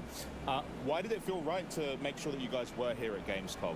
Well, you know, uh, Germany is a, is a huge player base for us. I think it's the second biggest a- a- after the United States. So we've been coming over here for many, many years. I mean, it's uh, Wait, that looks I really think cool. 2013, before launch, was our was our first year here at Gamescom, and we've had community events here longer than we've had She's community buzzing. events in America. Right, right, So, uh, seriously, so Germany. Why aren't they uh, using the and Europe headsets? as a This guy knows is, what is he's doing. Very, very. Okay, there we go. You know, in our Two hearts people. and uh, and to the success of the game, and we like to come out and thank Three, them. in four, yeah, five a huge people? presence Okay. in the booth. It's, it's unbelievable. Like there's people lined up all around. You know, we've got some cosplayers here. Um, it's just this really. Can you stand there for as long as you want? You got like a time limit We get to meet the players.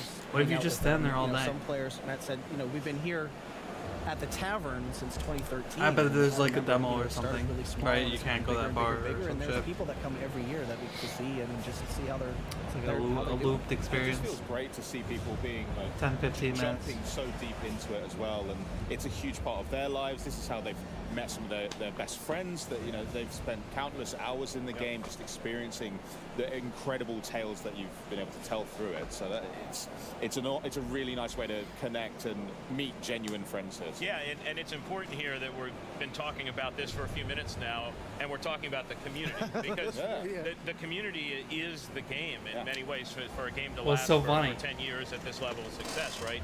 It's just more about the people that play the game at this point than the people Okay. that make it. So we never forget that. We very much appreciate it. And we always know when we do have community events and like hands-on and things here, here at Gamescom. That's players smart. They like put those little to meet each other things down there because I guess you can't go us. into the Like, menu uh, or something. Their best friends are in the game sometimes, and just to meet them in the real world is awesome. And we just happen to be here, right? Like that's the thing, right? Like Yeah. so it's it's yeah, it's really cool. No mouse so pads? Years, you've not just been like sitting around letting people enjoy the game. You've been working hard. Maybe it's the, new like, content updates. You've glass had a new mouse pad is just the whole thing. This same year as well. But- Do you want to talk a bit about Gold Road and what's there for players? Probably not the case. Yeah, Gold Road is the continuation of a story that we started last year with Necrom. So it's this story about a new Daedric prince who's been long forgotten, Ithelia. Um, she looks different, she acts different than everybody else, and then it's a bit of a nostalgia trip. It looks through, better than WoW. Uh, the West Weald, which was also in Oblivion, Test for Oblivion. So um, yeah, it's just it's been really cool to be able to do that, and then add new systems as well. We added the scribing system, which allows players to essentially build their own abilities um, and really kind of mix and match, you know, those abilities with their builds, and then you know just change the colors and, and whatnot to really match their role play. Yeah, because That's such an important part for your players. It's not just about being able to get the DPS meter up. It's it's so much more than that, right? Yeah, you know, it's like It's all uh, about the like- DPS. Like, I joke with Rich a lot. You know, we're talking about scribing, but you know, we have a roguelike game uh, the you know in, in, in Infinite Archives inside our game, right? We have so many different things you can do in ESO, and uh, in fact, years ago, I think three or four years ago, we started calling it a virtual world, like a fantasy virtual world, because that's really what it is. It's much more than a game at this point. You can log in and play a card game. Uh, now you can. Uh, I don't know uh, anyone decorate your house and that share it actively plays and, this game, uh, though. You know, Antiquities and- antiquity system and PvP, and, uh, right? So there's just so much to do Like, in none this my game ga- that you none of can really play all actively week play and do game. different things every day. You guys were And it looks pretty good. It looks better than round. WoW, to be So honest. You had 'em beat. From Um, my perspective. Speaking of uh, never housing, you do, you do have them. a current update available for PC players with the update 43. Console players are going to be able to get hands on with that pretty soon. But give us a brief overview of what they can expect with that. So the big new system is home tours, right? It allows players to share their creations with other players, and our housing system is incredible. It's super Home deep. tours. It is free form, so there's not there's no hook points. Okay. There's nothing along those lines. Whatever players can dream up, they can build. They can put chairs on the ceilings. They can cobble together a bunch of things to create new assets. Damn, is that a And they- home? They, It do, is. and they make these really cool creations. And now home tours Wait. allows them to share that with other people. And those people can go in and Yeah. view these homes and like them, and and like it's it's really going to open the doors for our community. Yeah. Damn. you can have. That's really cool. Yeah, the, good. I didn't think about Damn. the uh, the people watching the stream right now, I think, are seeing uh, some housing in game. And I just want to reiterate. Well, is all- that- is this what we're seeing in all game in our RMT? housing system. Like it could be created You by have- the you gotta pay players. for all this? And s- in fact, some of the ones they're going to get to soon are actually created by by players themselves. Sure. And it's it's unbelievable what what they can do with the with the tools we give them. Damn. It's a good thing you never asked me because mine just always looks like some midlife crisis bachelor's pad. There- There's like, not very good with Yeah, it. there's like monster trophies on the wall, like one chair in the middle of it. It, it looks really sad, but with this update, I think I'm going to have to try and up my, my housing chops and It's re- make something just, look good. Just going through and exploring Damn. and seeing what other players are doing is just so inspiring, right? Like it's amazing. This is actually really not cool. just the only thing that's getting Wow. updated though, because we mentioned the the road. Look at how big of an area you have. Archives. That's also having a few new flourishes added to it as well, right? Yeah, so we've added a bunch of new bosses into there, some new monster types. We've added in two new arena types, so there's a fire and ice arena in there. We've added new verses and visions, which are the buffs that players earn while they're kind of progressing through.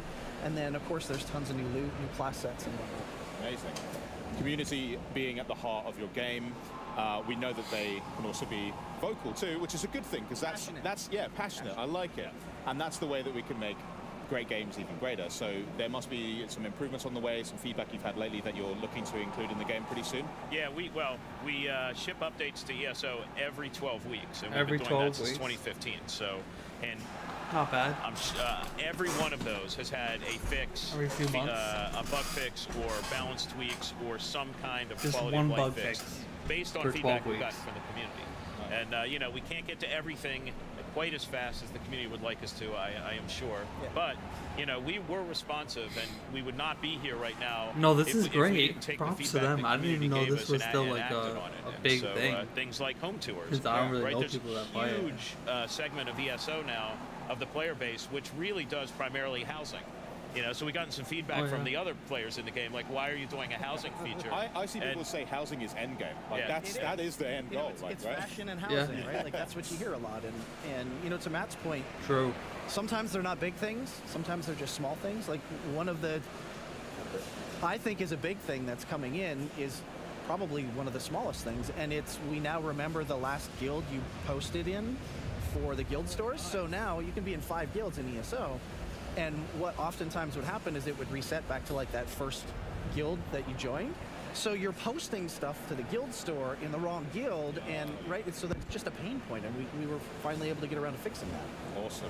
I do want to make sure that I give you guys a shout out for possibly one of the most memorable trailers from Showcase because your 10 year one was absolutely We incredible. belong, Oh, that was so good. Like, we were all watching it, doing a little mini watch party in the Xbox on studio, and we were like, this is great stuff. You know, and, and- and- and I think uh, over the years, you know, this is an Elder Scrolls game, right? A lot of the videos we've done are a lot about combat and fighting giant, you know, monsters and huge, you know, demon Daedric princes, Yeah. right? But that video, the We Belong video, is more about the heart of the game, and that's from from what the players experience. That's much more what the game is to them than just going on quests. Because of course we have that, but you're doing it with friends, right? You're doing Yeah. it with people that you meet in the game, and you're starting out, and you can't do much, and then you get really powerful, right? That that's the heart of the game, right there in that video. Amazing. Well, when update 43 drops on console, I'll make sure to spruce up my home. Maybe you can tour it, see what you think. But Yeah. Uh, thank you, thank, thank you guys so much for joining us. I hope you enjoy the rest of your Gamescom. Uh, the Elder Scrolls Online update 43 is launching September 4th, 2024, so pretty soon. For Cool. details on that update, the 10th anniversary plans, and more, make sure that you do tune into the ESO Gamescom live stream, which is kicking off in just over an hour at 6 p.m. CEST, 12 p.m. EDT at twitch.tv slash Bethesda. Now for a refreshing change of pace for the hero shooter genre. That pace is fast, by the way. Here now, enjoy the wildly colourful and furious world of Fragpunk. Great. Yo! Hate rules? Fragpunk's here to spice them up. We're the 5v5 FPS that lets you bend the rules with cards. Cards can literally do anything. Oh yeah, I saw. I think I saw They can Shroud you playing up. this. They can change the weather. This is really unique, like interesting concepts based even based on other. the like Valorant CS:GO type of game. I think this is really good. You can blast people up even more. Or find foes when they try to be sneaky.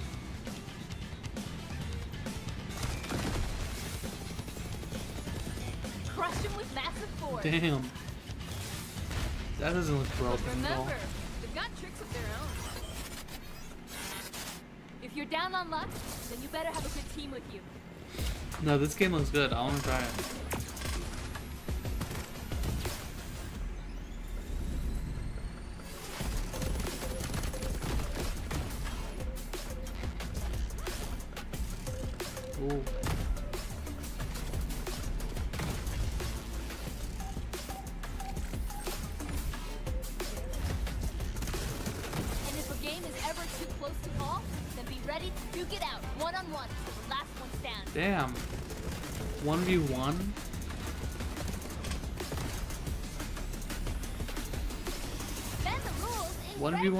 1v1 Fragpunk. overtime? That's pretty cool. Steam and Xbox.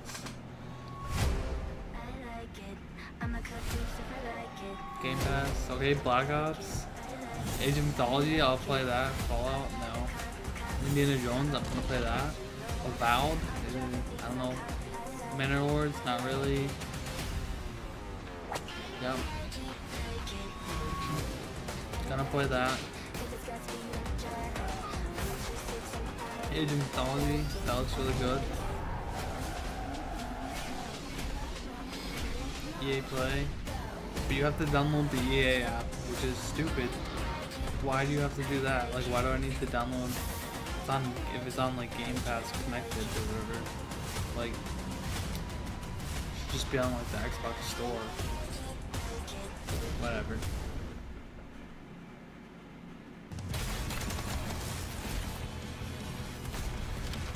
What's this? Another prison guard. Good luck, mate. You're gonna need it. There's one escape pod left, but you're not the only geezer bolting after it. Another roguelite what? There's a lot of wankers between you and the sweet taste of freedom.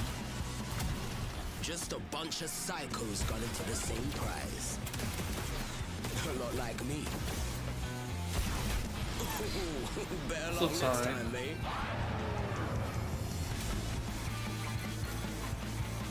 You might make it farther than the last pig I murked. Even took down some big boys along the way. Yep. no, okay. But the last guard, well, they ain't exactly dead. Ooh. He died. Looks like one of you guards finally put some big boy pants on. Brilliant. Cause it's just getting started. Pretty uh comic-y art style. Not bad. Interesting.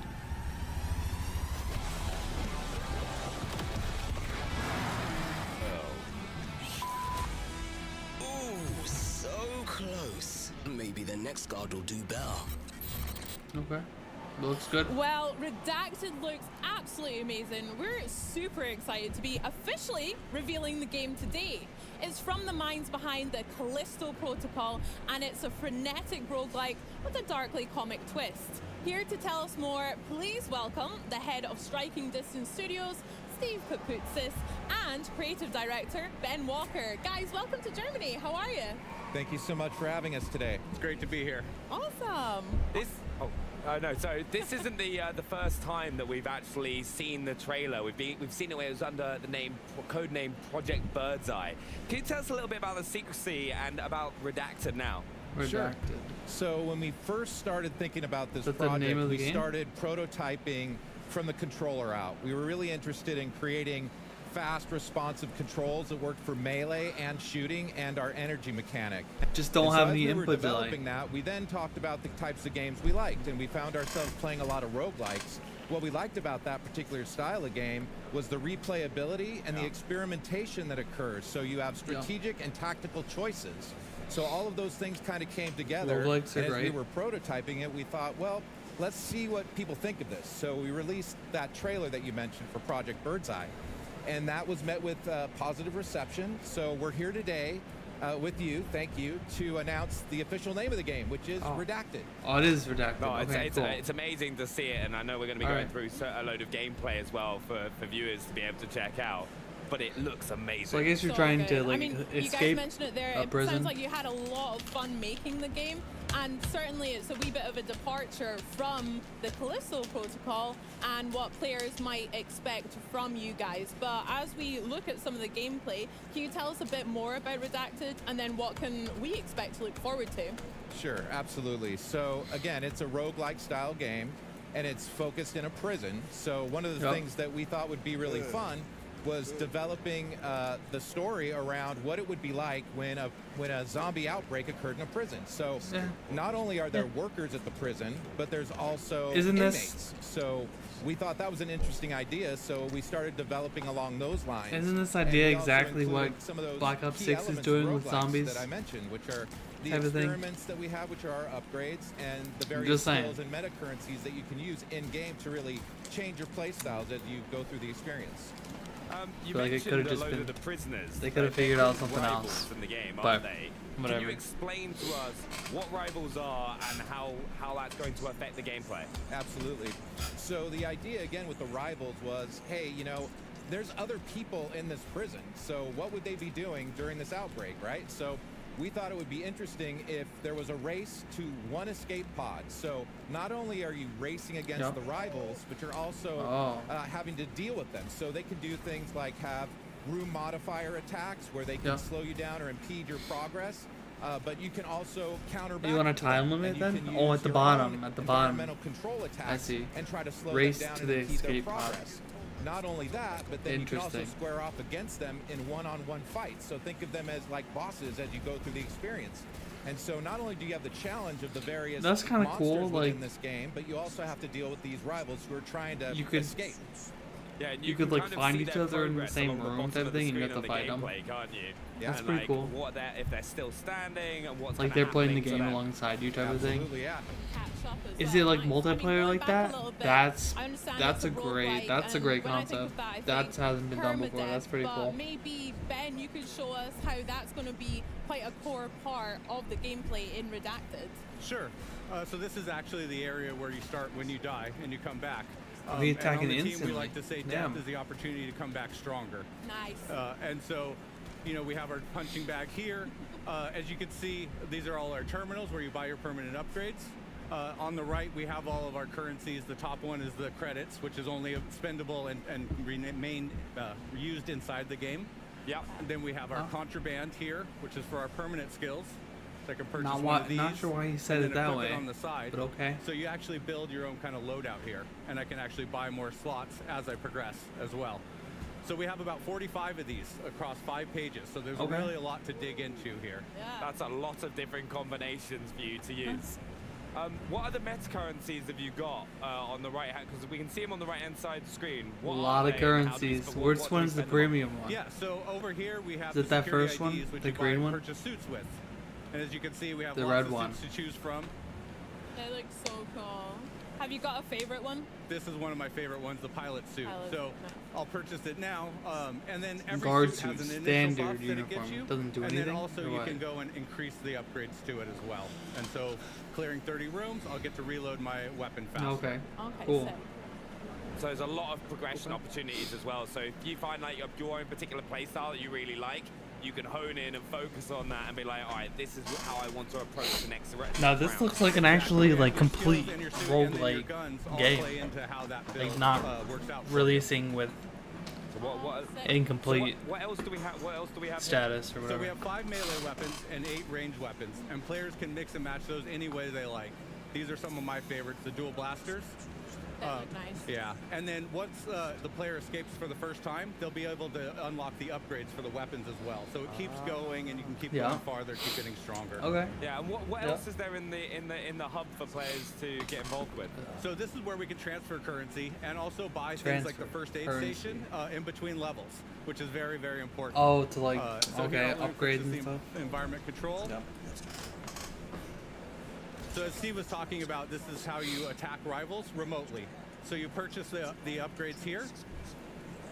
Yeah, because we saw this happen a couple times in the gameplay that we saw a little bit earlier, didn't Yeah, exactly. And this will slow them down, it'll stop them, it'll do damage. And I- then once you buy all oh. of them, you get the next tier of it. So you just keep go upgrading and upgrading. Okay, sick. There's a on the screen there. There was something about a combo with the rival attacks. What was that about there? Yeah, so you, when you actually do your rival attack, you Uh-huh. select the rival, and then you have to put, you have a limited time to kind of punch in this code. So there's a little bit of a rhythm to it. Yeah, rhythm game. Love that. Yep. Okay, sick. That's so cool. Uh, and then the final two we've got are the what the re- redaction map and the performance review center. What are those? Yeah, so the performance review is a summary of your run. So here you can see what experiments Okay, yeah, you used, how many meta currency elements that you collected, the schematics and the fabrications. Uh, so this is a good way to kind of strategize as you go through, see what you did before and see what, what you might try to do next time. In addition to that, we that have uh, the Watcher Log, which actually provides a lot of deep statistics for you. It's fun to kind of min-max and see uh, how you did against the various rivals, which experiments you tend to gravitate towards, and you can see that all here. A lot of enemies, It's okay, fun good. to kind of dig into the statistical Enemy element types. of the game. It, it's also where I can see people getting so competitive. There's like going like, Weapons, oh, I can get a faster time than you. I can do there- better with this should be setup more, and see like we'll all see. that kind of comparison. Like I know, uh, Actually, like, where's the us at sniper? No Xbox sniper. Team would do that an absolute ton on stream. How We- many Stumbaton skills have you got or something? Yeah. Yeah, exactly. Definitely.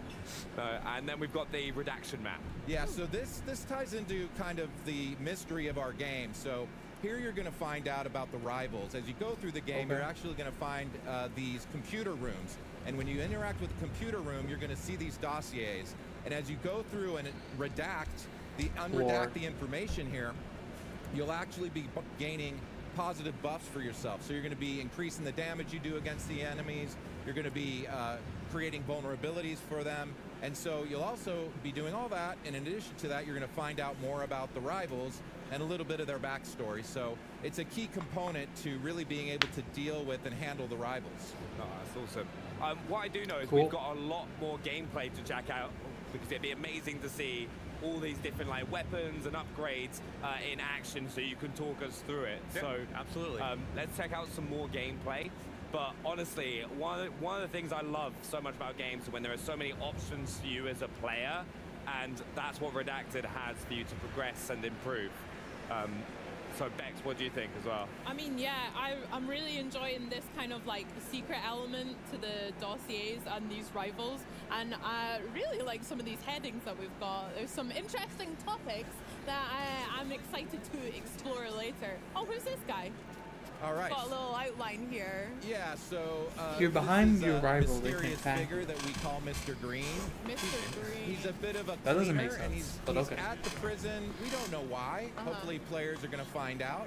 But uh, he'll be interacting with you and kind of providing you some insights as you progress through the experience. Okay. And so, yeah, I don't want to give away too much, No. but uh, Mr. Green is a shadowy figure. Okay. Seems like a. Seems like we can trust him right now, but given all of the rivals and all of the other Ooh. people that you've told us about Okay. so far, I'm not too. So you can not too choose which door you're You can never into. trust the shadowy Like, kind of like That to me Hades. like, especially one in a prison. That just, just doesn't seem to work. Um, but we what is because there's so many options of how to play the game can you kind of run us through some of your favorite builds i think this is us going up against a one of your rivals right now isn't it Yep, absolutely. Sorry. Uh, so, we, like Steve mentioned, we call our upgrade trees experiments. Yeah. So we have a total of 115 of those in the game, split up against seven uh, across seven categories.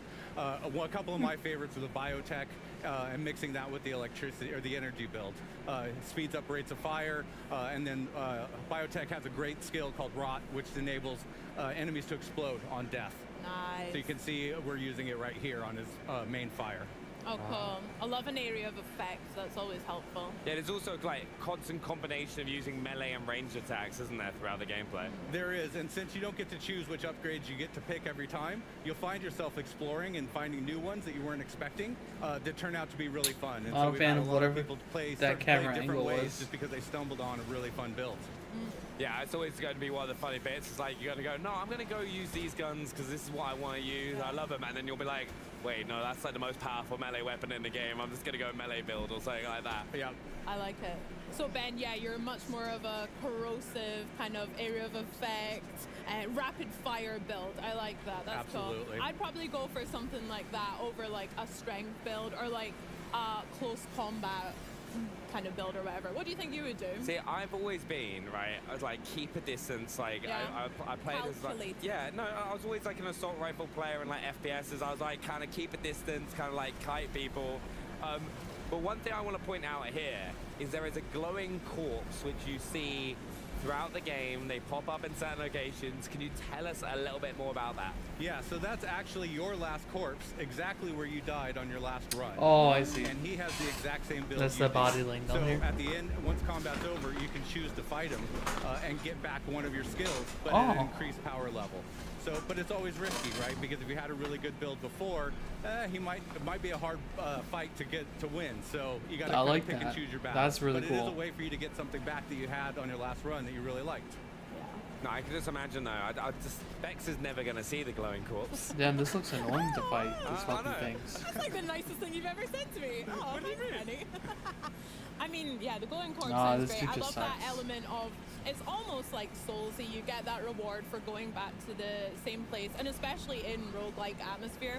I love that as well. I mean, we're seeing so many sick-looking visuals here. Always gonna I do it. Notice some of the symbols from your game's Last. Protocol, and lots of um, this new art style that we can enjoy as well with our eyeballs, which is great. but what was your philosophy behind this and like I guess kind of moving away from Callisto You got Protocol? shit on. Right, so we wanted to create Shouldn't you just that do that in like the different, first room then? uh, you should get like an upgrade and then die, enjoy. and then So go we're big fans of comic books, do that and fight yourself, novels, and we then get like double wanted upgrade or something. an irreverent, fun tone to this game.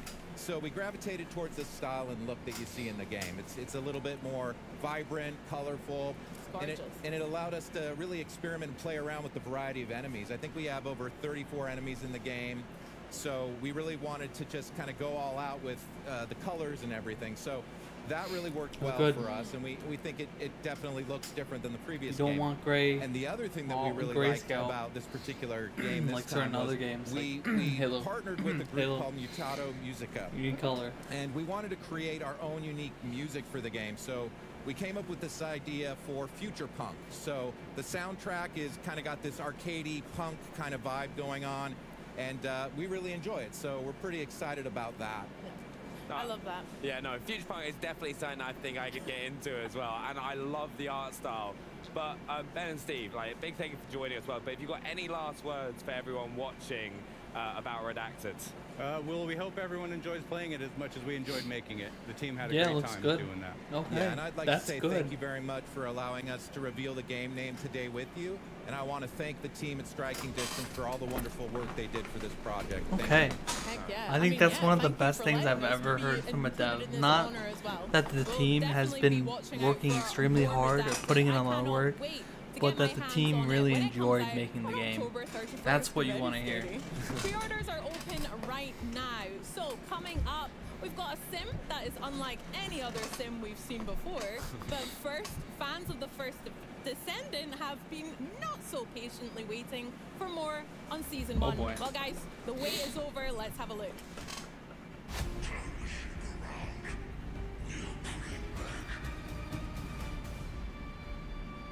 We managed to fend off our enemy's large-scale attack, but the war is far from over. The Colossus still threatens us, and our enemies are plotting new strategies. Can Ingress ever find true peace? Has Corel really given up on the war?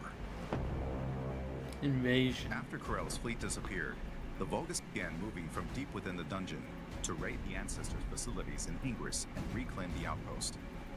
Detecting this, Ingress immediately dispatched a scout. That scout's name is Haley. Ooh. Haley, who rose from a supply soldier in the guerrilla unit to a legendary sniper, is now a newcomer in the Descendant Corps. Ruthlessly eliminating enemies with her anti-material sniper rifle. Damn. She Damn. dominates battles with her ability to drop her body temperature and emit cold air when her emotions run high. When shooting from a distance, her weapon's critical hit multiplier increases, making her an excellent fit for Damn. sniper rifles. Big damage She possesses sub-zero bullets that fire multiple shots in an instant, and a storm snare that pushes back and rapidly cools down enemies in front. Above all, Haley's specialty is switching to her anti-material sniper rifle and firing a single, incredibly powerful Damn, shot, stronger than any other attack. In Season 1, the Vulgus launches a new strategy, the Invasion. Invasions occur randomly in two dungeons of the hard difficulty infiltration operations. Players can choose to enter between the existing operations or the invasions. Invasion dungeons are only available for solo play, Ooh. testing the strength of the Descendants. Three Vulgus legions will block the Descendants with different defense mechanisms. The quantum field creates an immortal state, impervious to physical attacks. The Resonance Shatterers cause massive explosions with the energies of Arcade and the Iron Heart. The Keeper tiled encryption device maintains a powerful security system. Invasion dungeons present new mechanics that disrupt the Descendants' operations. Okay. Solve these enemies' mechanisms and swiftly eliminate them. Invasion dungeons are designed for speed runs, and the faster you clear them, the greater the rewards that Wow. await. It looks pretty damn good. After coming in contact with the Iron Heart, Descendants experience an Arche resonance phenomenon. This resonance grants the Descendants new powers. It's the season growth inversion reinforcement. Inversion reinforcement is a new growth system Ooh. that resets at the start of each season. It includes Okay. five types hunting, attributes, recovery, survival, and Oh, seasons. okay, so this is the seasonal- Through the inversion reinforcement, Seasonal Descendants artifact, gain like beneficial they have effects in for Destiny. progressing through seasonal content and can also obtain effects that compensate for their weakness. Each season, we plan to tailor and replace the inversion reinforcement effects, providing effects that perfectly fit the seasonal content. In addition to a new descendant, a new ultimate descendant will be introduced in season 1. Ultimate Freyna, who has evolved Arche's toxicity Wow. into a more powerful weapon, will make her debut. In season 1, you can discover Freyna's exclusive story and uncover the tale behind the name of her skill, Room Zero Trauma. Excava is an assault rifle with powerful versatility. It can be obtained through the Battle Pass and is also available as a free reward. Excava charges voltage when attacking enemies and has a unique effect of firing the charged voltage as an energy grenade. It is a versatile weapon that combines the inherent versatility Cool. of an assault rifle with a powerful shot. Frost Watcher is a scout rifle that can be farmed through the Season 1 content. When Can hitting enemies farmed. from long range, it reduces chill resistance and enhances the damage of one's chill skills, making it a perfect fit for Viessa and Haley. If you've prepared a new Descendant, Ultimate Weapon, and Inversion Growth, it is now time to face the most powerful Colossus, Ooh. Deathstalker. Deathstalker lurks in the darkness of the void, targeting the life of Descendants. It is Damn. stronger than any Colossus encountered so far. To protect Albion from the threat of Deathstalker, we must once again venture into the void, unravel the mysteries within the darkness, and intercept Deathstalker. The first Descendants first season begins on August 29th with Haley, a new Descendant, Ultimate Freyna, and the new Ultimate Weapons. New episodes, dungeon content, and void intercept battles await you in Albion. Pretty good. Descendants. The first Descendant, Season 1 Invasion. Doesn't look insane, but it looks like like good content. More than Anthem, at least. Unfortunately.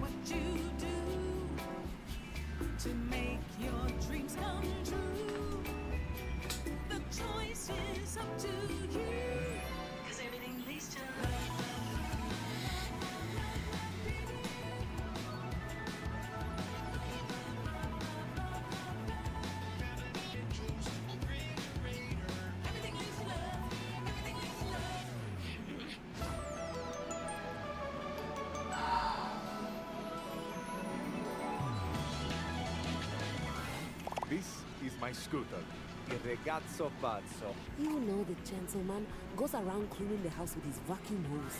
Name's Hugo. My friends just call me Hugo. Besides, we both know you're cheating on me, so it's only fair. I wish I was cheating on you. Oh my god.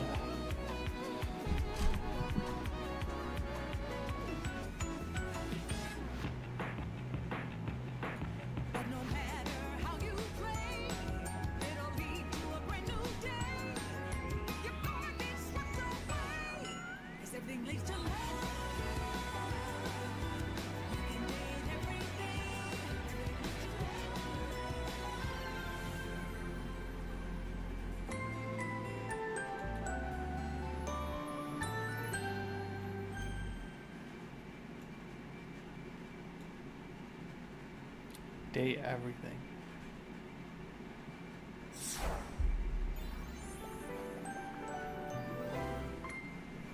As developers of the relationship testing epic that is the Overcooked series, if you know, you know, it seems fitting that they would take on a dating sim in a rather unusual way. Here to tell us more about the quirky home furnishing dating fever dream, this is Date Everything from Sassy Chap Games. Please join me in welcoming co-creative lead and executive producer Robbie Daymond, writer, producer Amanda Hubbard, and lead writing exclamation designer point. Chase, all the way over there. Hi Ray, how you doing? Thank you so much for joining me. How are Oh, you all Date doing? Are you Everything. having a great Gamescom? Oh. Really, the best Gamescom. And, you know, just so you and everybody at home knows, uh, I know my name said Amanda, but I'm actually Tiago today. I already Um, forgot the sporting name our of the lead game. programmer's jacket because someone stole my jacket out of my mailbox. So if you're watching this, if you could please bring my jacket back to me, I would appreciate it. Thank you so much. Wonderful. So all good, maybe aside from Tiago uh, and and the yeah, Zach. Uh, yeah. And Want to talk? Oh fuck.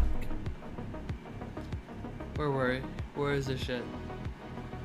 Oh, you're cheating. Uh, yeah, we just picked on years ago. And and he all stayed on it. The the- the last one. Thanks. The uh, that one. My out. No one wants to play this shit. Less so. Get the fuck out of here. And do. Oh my god, how long is this? Sting. Iraq. Yeah, yeah. And there. Add. Shout out to my. Our principle is Oh, thank god. venture odds. Khazan has helped him save an empire. Deep dive into the first berserker, Khazan. The first berserker, Khazan.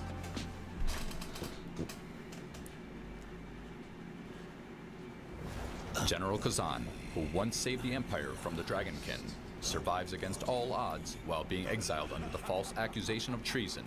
He embarks on an adventure to uncover the truth behind his downfall and seek revenge against his enemies.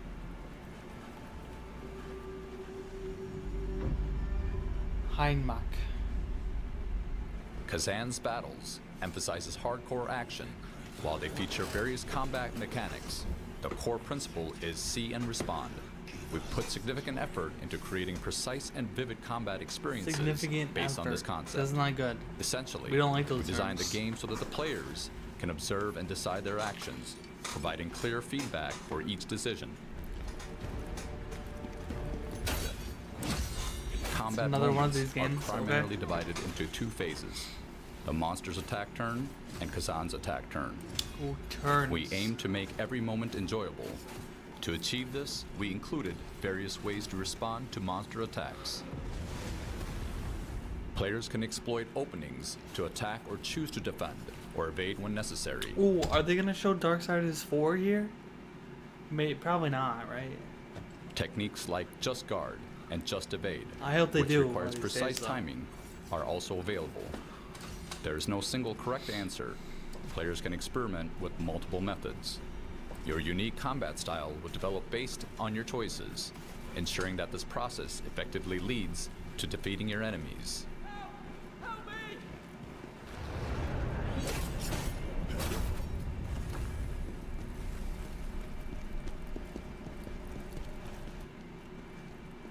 Preemptive strikes are a key strategy for tackling powerful enemies with ease. When initiating a battle with a brutal attack from behind, Khazan can gain numerous attack opportunities, limited only by his stamina. Both Khazan and his enemies have stamina, and once depleted, they become exhausted until it recovers.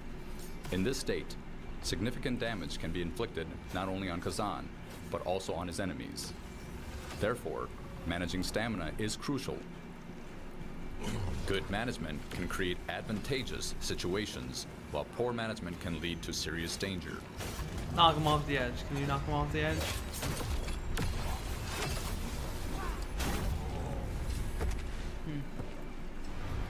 Hmm. In battles against strong Oh, enemies, including boss fights, using stamina strategically is particularly crucial.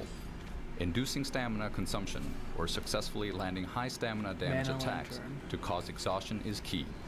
Once in an exhausted state, dealing maximum damage through various methods become the core strategy for overcoming bosses. Damn, that's a lot of damage. Additionally, targeting and destroying weak points can inflict significant damage and provide extra attack opportunities. Okay. Khazan is a skilled warrior who can Okay. proficiently wield various weapons, Yeah. allowing you to experience different combat styles that maximizes each weapon's advantages. This looks pretty good. This is like Currently, this looks like Khazan is equipped with a spear. Although its attack power is somewhat lower, it features long reach, wide range, and impressive combo attacks, making it particularly advantageous in stamina-based combat. this looks like an easy version of Elden Ring or Dark Souls or even Wukong probably. It's like an easy version This weapon excels at efficiently draining the enemy's stamina and delivering additional damage to exhausted enemies through various methods and combos.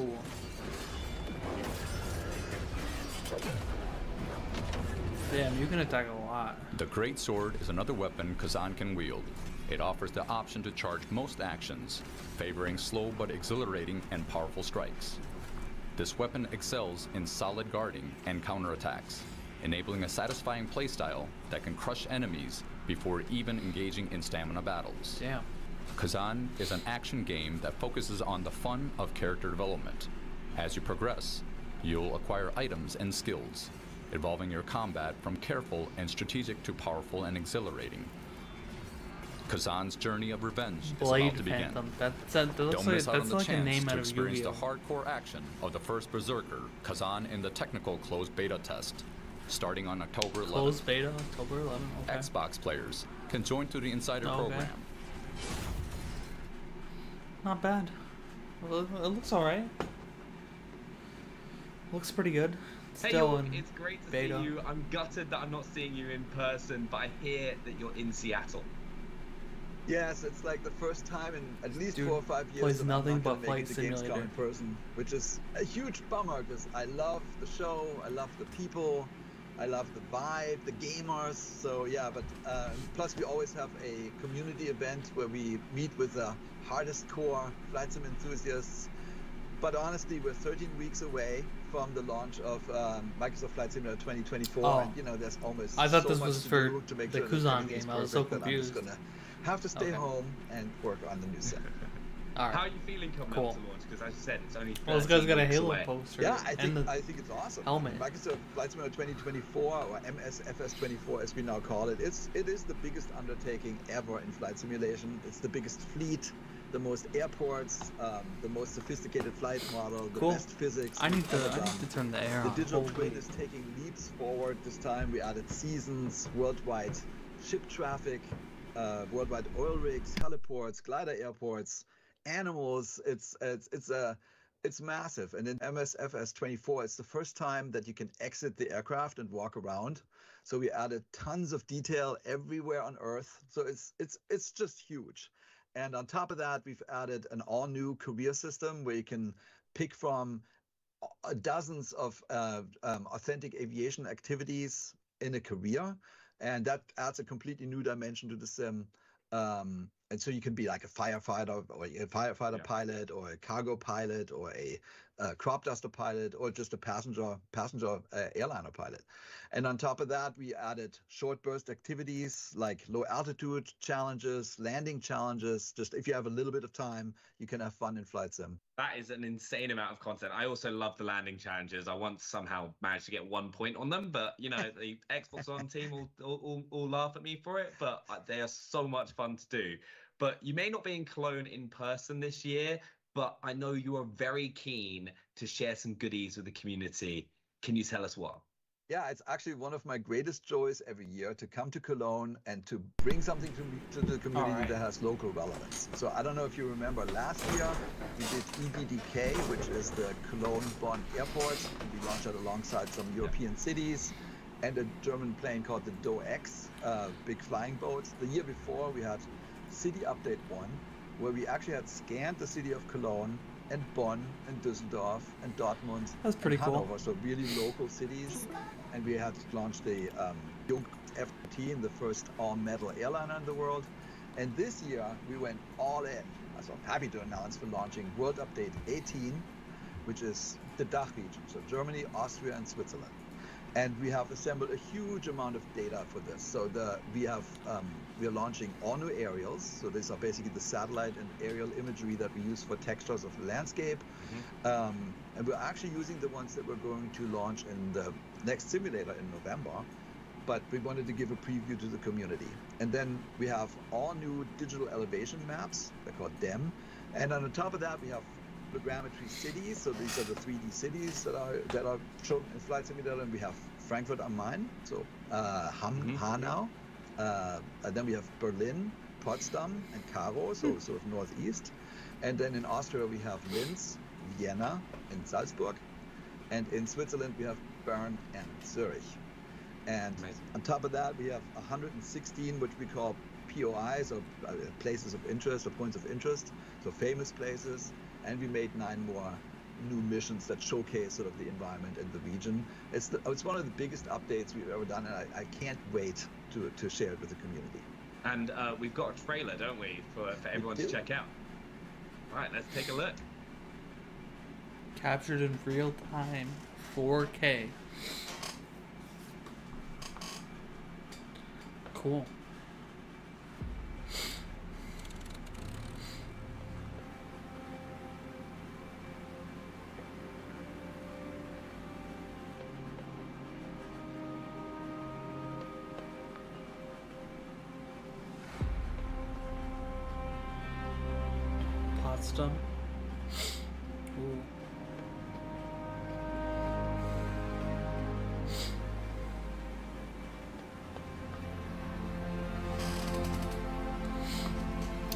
I want to go visit them.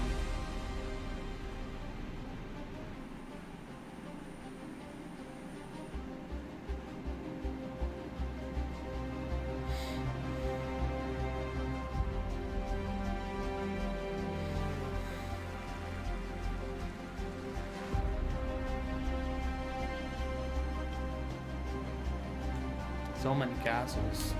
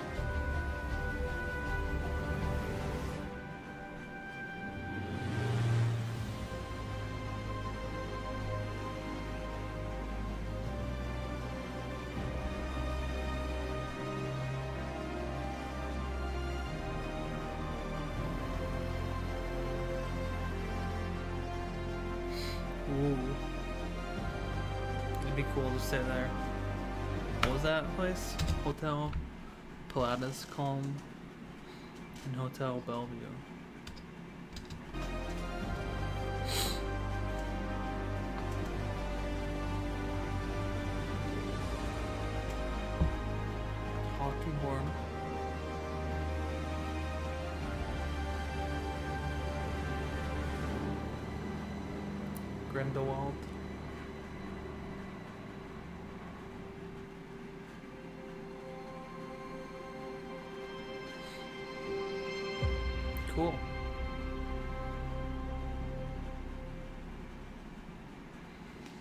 Actually looks stunning. There's so uh, many amazing places to check Yeah. out. But I know your team does an incredible job with these world updates, and I hear this one hit close to home for you. Yeah, thank you so much. And I'm honestly, I'm so proud that we can basically bring regions of the planets to life um, with these world updates. And this particular one, I don't know if you know this, but I was actually born in Frankfurt, and I, as a little kid, grew up in uh, in Hainstadt, which is near. Uh, which is near the area, and then my mom comes from Darmstadt. My brother lives in Buchschlag, so when we got the when we got the new data, uh, I immediately went into the game and into the and looked at it, and I found the house I grew up in, the kindergarten I went to. I was like, and then here's the house my mom grew up in. My Cool. brother lives over there, so it's it's super cool, and it it's amazing always when I see That's pretty cool. how accurate everything is. Yeah, and I, I can imagine when you can now that you can go walk around as well with a new update, it's like you really get into that like nitty bitty gritty detail. Yeah, exactly. Yeah, I mean, it never ceases to amaze me. Huh. We, we call that the digital twin. The, the, the whole goal is that we have a real one-on-one representation of the entire Earth. And, you know, the world, I always say the world is full of sensors. So there are sensors and satellites and aircraft, your phones, your cars. And we get all this data and we can feed that back into the sim. So it's getting better and better over time, which is just so cool. Yeah, and now that we've seen the world update, can we expect a new aircraft to go Flight with it? simulator or from Always, for you know, we bigger. call those local legends. So when we do a world update, we we try to basically highlight important things in the history of aviation relative to that region. Um, so for Germany, we did a few already. We did two Junkers and two Dorniers, and today, I'm very proud to announce a very special plane from Bremen called the Focke-Wulf 200 Condor. The what? And it was first flown in Look, 1937. he's like, at the time, uh, what did you just say? The most like, sophisticated airliner in the world. And we have a trailer.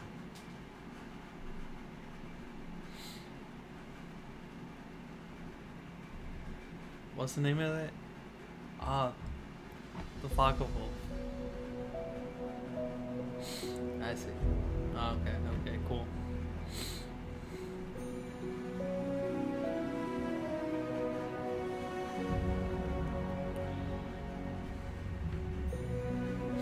That was crazy. No seatbelts.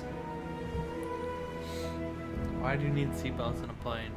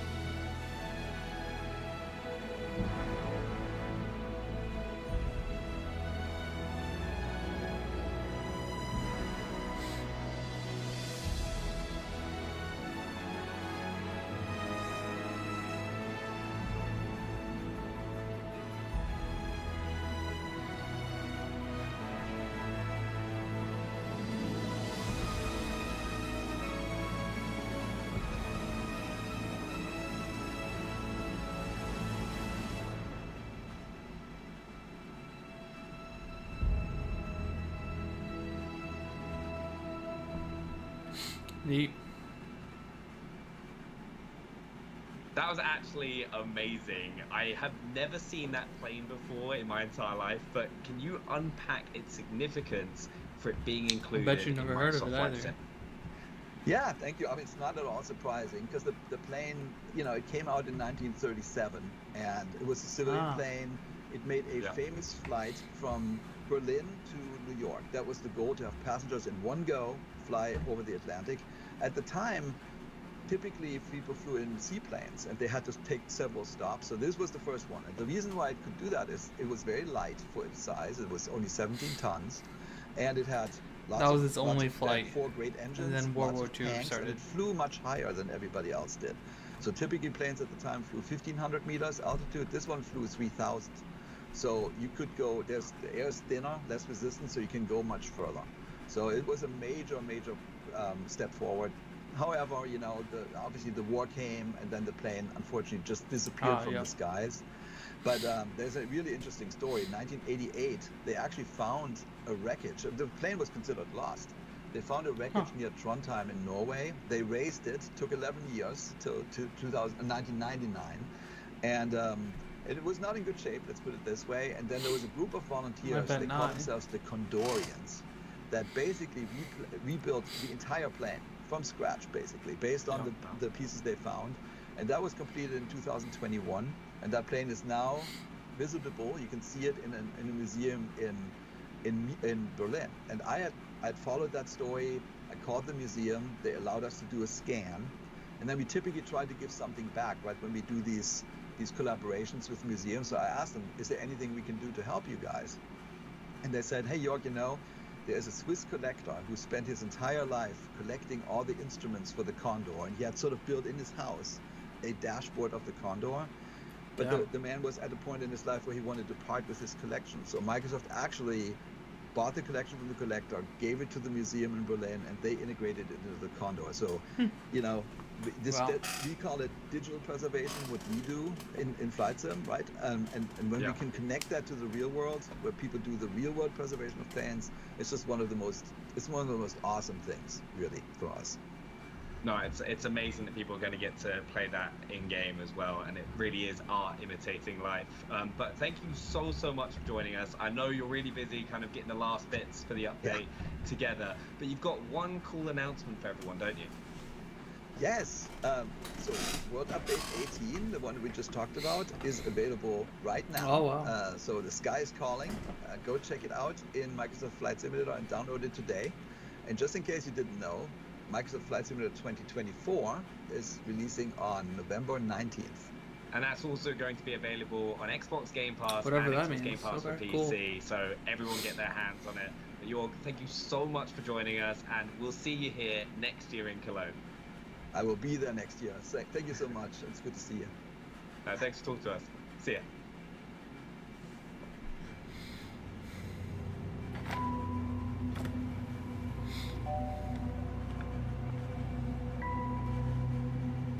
What's this? Hi, I'm Coralie Segnino, producer of Little Nightmares 3. Little Nightmares 3. We are very excited to have the game playable at Gamescom this year, but for all of you that can't be here, we wanted to give you a sneak peek at our demo, as well as some exclusive footage.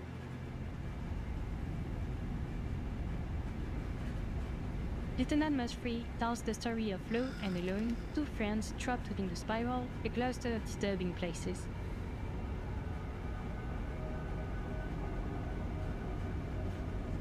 They will have to work together to survive in this dangerous world full of delusions and escape the nowhere.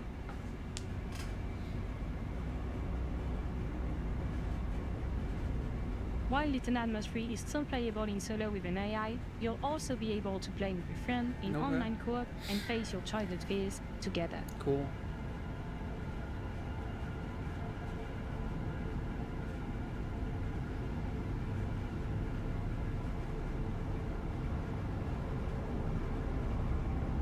Welcome to the Necropolis. Here for this walkthrough, we have our two characters, Low with the raven mask and the blue cape, and Alone with the green jumpsuit and the red pigtails. Each character is equipped with their own iconic item. Alone has a wrench that kinda will have dark. a variety of usages, like for example, activating mechanisms, it was a little bit brighter.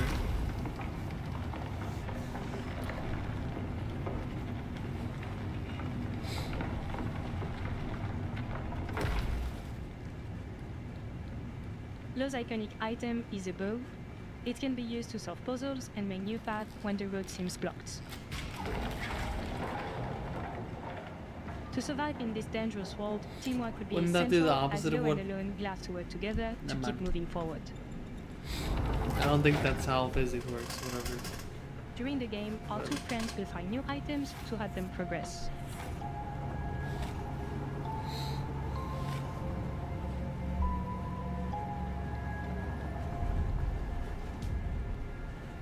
Necropolis is a peculiar place. Raised from the desert sands and powered by gusting winds, it has been described as a city of eternal energy and certain death. It is a weird place that used to be inhabited by the dwellers.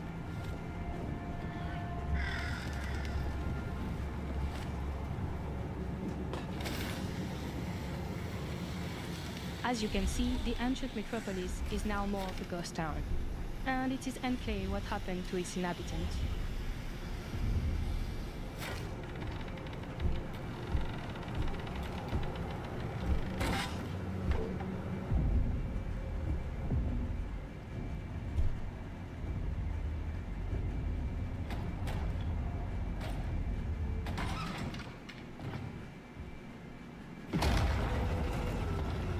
Damn.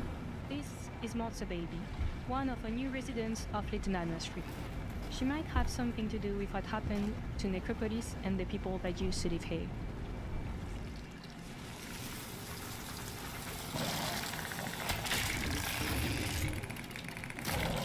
It seems that crows are not the only living inhabitants left.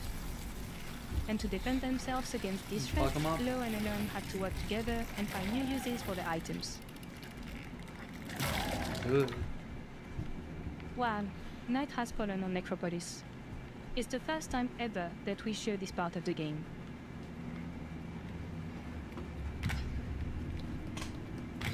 But you got like a home base or something? As you can see, the mood in the real city has changed quite a bit.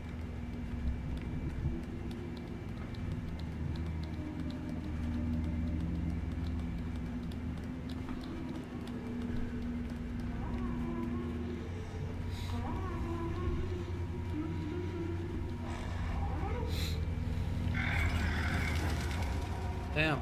Oh, apparently Monster Sleep through the night. Not sure want to become one of her toys. We should probably avoid her gaze and play hide and seek behind the blocks.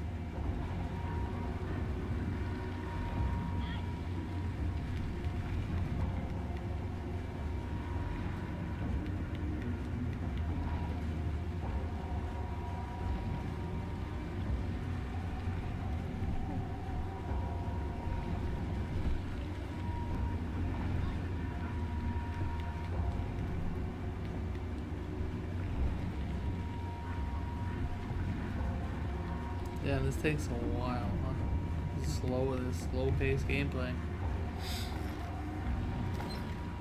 It should be safe here. That's Damn, it that for now. Thank you all for watching this gameplay walkthrough. We can't wait to show you more about the game. That was hardly any gameplay. Gameplay walkthrough, but they didn't, you know, there wasn't much there, alright? It wasn't. Little Nightmares 3 will be available in 2025 on Xbox Series, Xbox One, and Windows PC. Wishlist the game now to make sure you don't miss any news. Well, that was a spooky new look at Little Nightmares 3, which is coming to Xbox in 2025. So now it's time to go to the vault with Skyline Valley out now and the Milepost Zero update launching very soon. Our next guest has plenty to chat about. Here to give us more on the latest from Fallout 76, please welcome Milepost Zero creative director John Rush. John, Awesome. thank you so much for joining me. How are you today? Oh, great. Thank you for having me. This is awesome. Heck yeah, let's talk some Fallout, shall we? Let's do it. So, first up, a huge part of the Fallout franchise and also Bethesda as a whole is community involvement and the impact that they actually have on yourselves, if that's fair to say. Can you tell me a little bit more about what that impacts your development timeline from the community involvement? Sure. Yeah, that's a great question. Uh, you know, I've said it. I've said it before. Bethesda Game Studios has the best community in gaming. Uh, they're so great at giving giving feedback, saying what's not working, saying what they'd like to see. Mm. So the team always makes sure to stay on on top of all that feedback, whether it's on Reddit or Discord or, or whatnot. And what we do is we kind of boil it down to large strokes, bigger trends, right? And how what features can we make to satisfy these things that players want, hmm. and how do they fit across across a timeline while satisfying our builders and our adventurers alike? Nice. I mean, you mentioned Reddit just there, and I'm really curious how you actually use those sites or maybe other corners of the internet to mm. actually take the feedback from the community and then put that in the game. What does that look like for you and the team? Well, I'd like to outline some sort of really cryptic process, but it's really just me on my phone going down the post and remembering, oh yeah, somebody said that. But you know, it, it's more than just reading the feedback. It's also being able to look at that feedback through the lens of a player.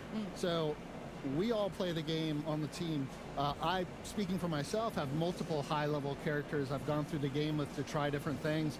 Uh, multiple new new characters fresh out of the vault to try different things. So looking at that feedback that we get from players through the lens of players ourselves and kind of trusting ourselves to make those the right choices for the game. Nice. Showing off with quite a few high level characters there. I see you.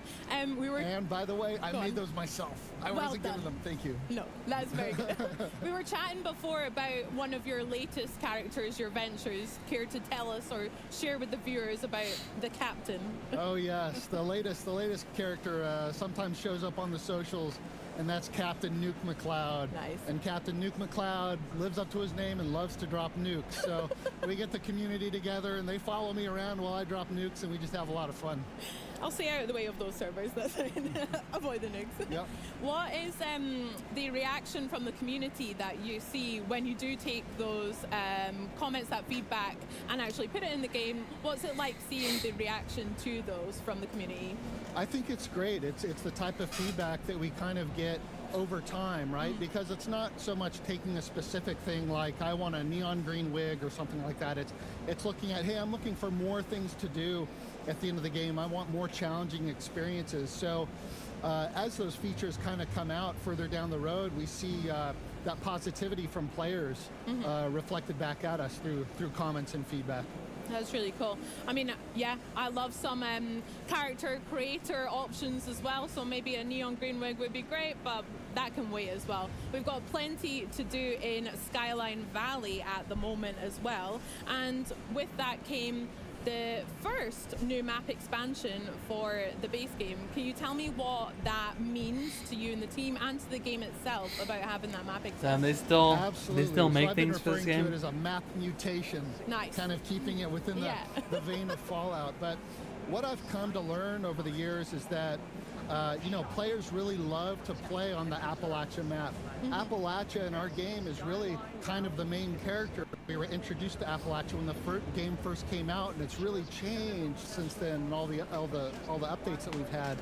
So knowing that players really like to stay in Appalachia and experience that, we wanted to give them opportunities to continue telling their own stories. So, uh, using Skyline Valley as a reference, they have more places to build, more places to adventure, uh, and also using Skyline Valley for a way to further the story of Appalachia itself, telling our own stories for the players to experience.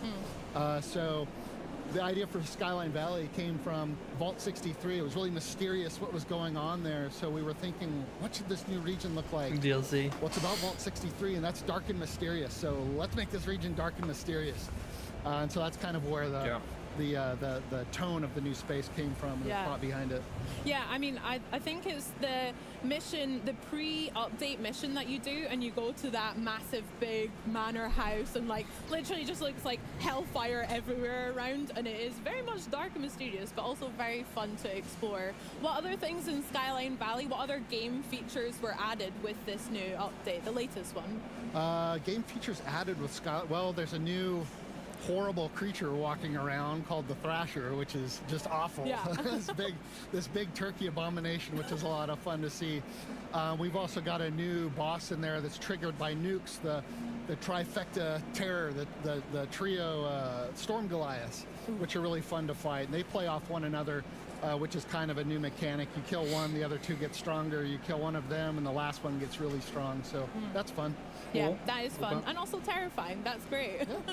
and then also with Vault 63, we've got a whole bunch of ghouls in there too, which is uh, uh, fun. And speaking of ghouls, it would be fair to chat about the Fallout TV show and my favorite character, Walton Goggins, Mm. aka the Ghoul. So, how are you enjoying the TV show? Firstly, have you enjoyed it? Which viewing? I've watched this series about four times. Heck yeah, yeah. I love it. Damn, Great, what? awesome. You can recite it already, Yes. probably dreaming about it. what I love most about the show is through the visuals, through the story, through the characters, Hmm. how true to Fallout it was for people that maybe weren't familiar with Fallout Yeah. before, or maybe had played other Fallouts in the past. That's crazy. Watching the show, experiencing that story, and Make a wanting good game. more.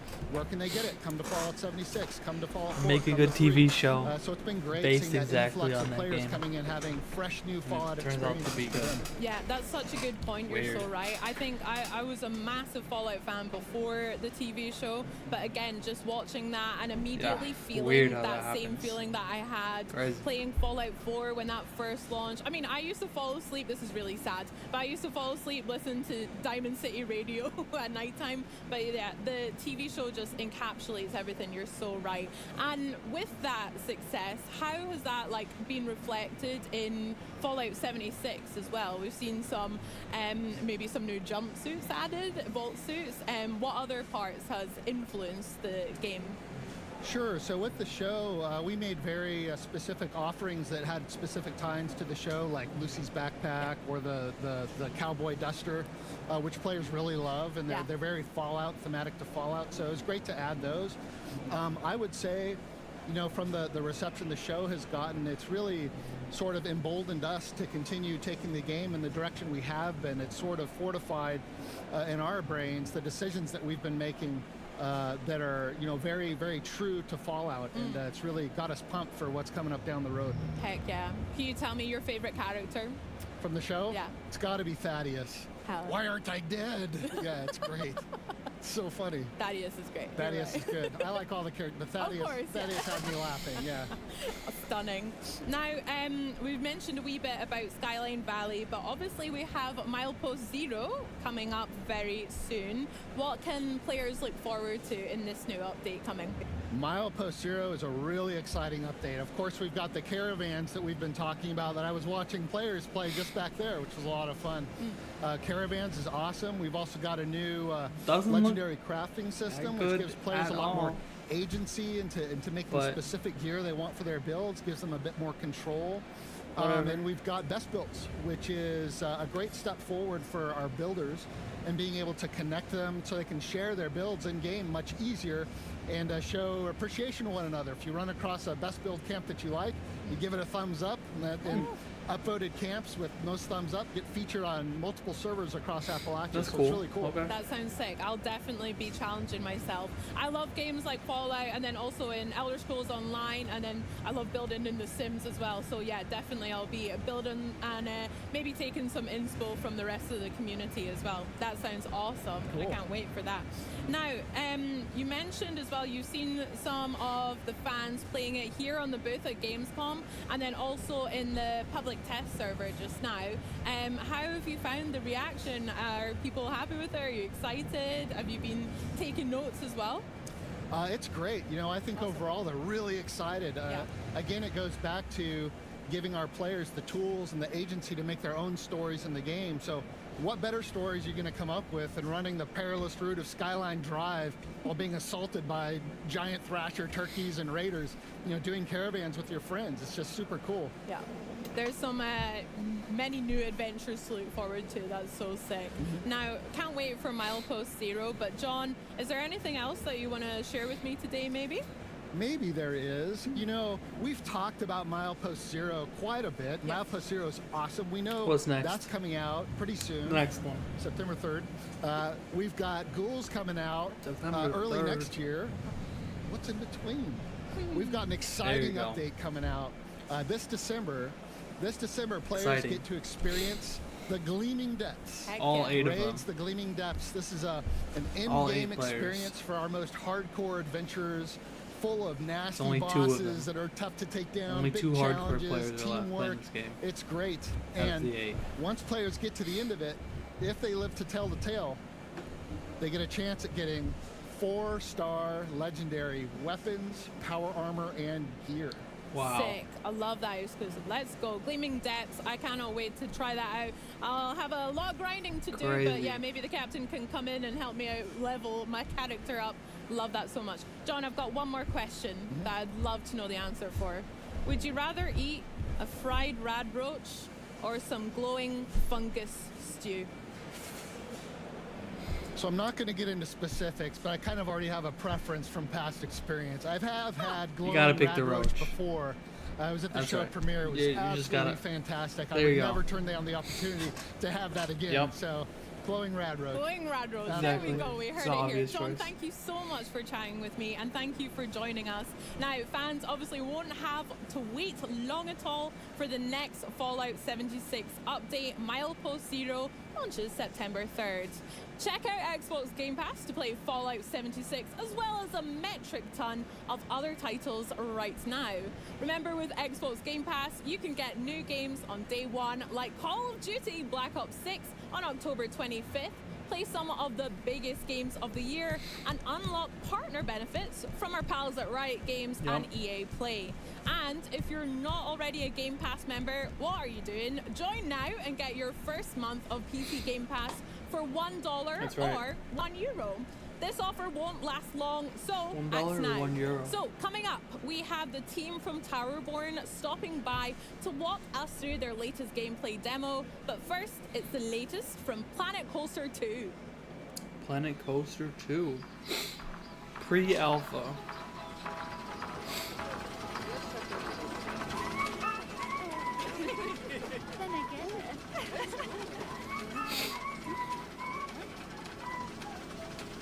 When I walk outside with my head in the clouds, everywhere I go, I keep singing out. They racing? Okay.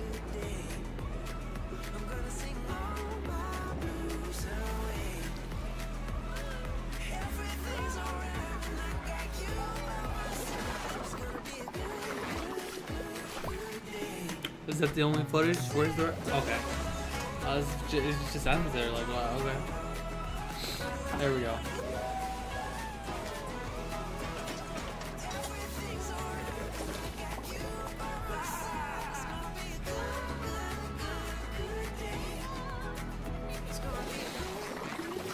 Where's the gameplay though? Okay, it's just in engine. Hi, I'm Rich No, Newbold, it's gotta Game be Director at gameplay. It's Frontier coming out this year. I hope you enjoyed the trailer for Planet Coaster 2. I'm here to show you a bit more about the game. Let's dive in.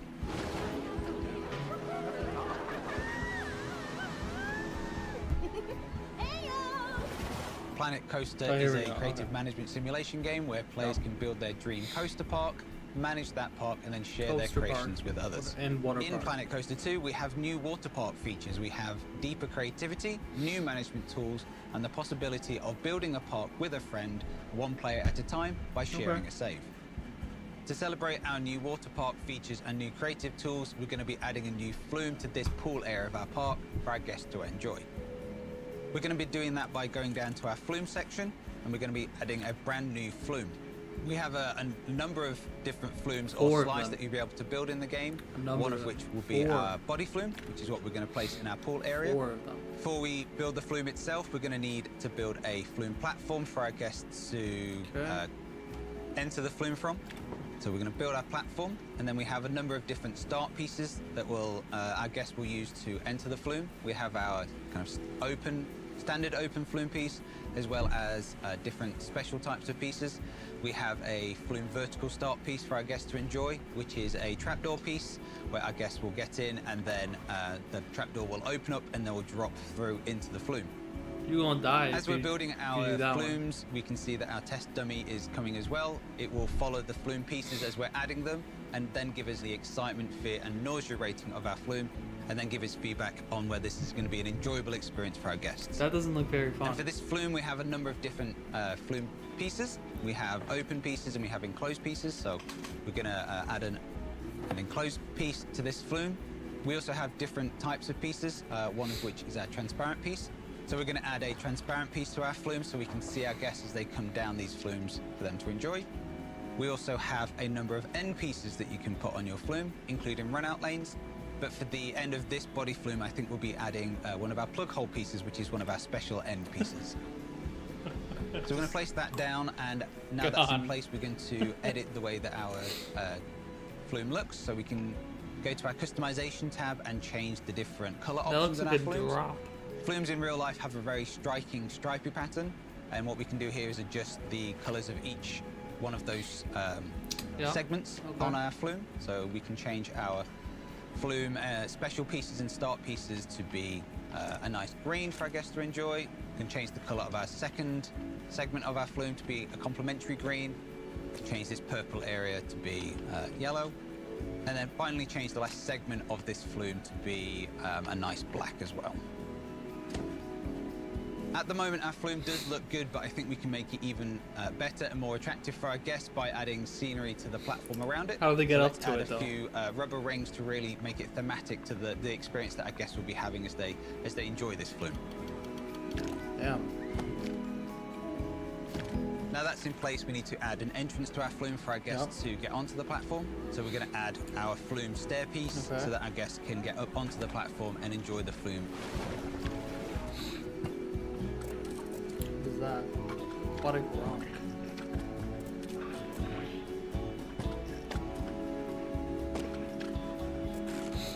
Okay.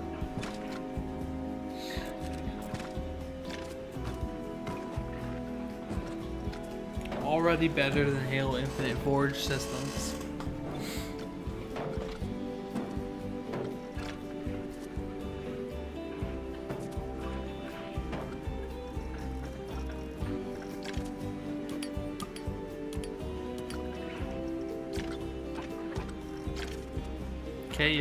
The entrance completely. Yeah, like that. And there we go. Our flume is finished and looking good and ready for our guests to enjoy.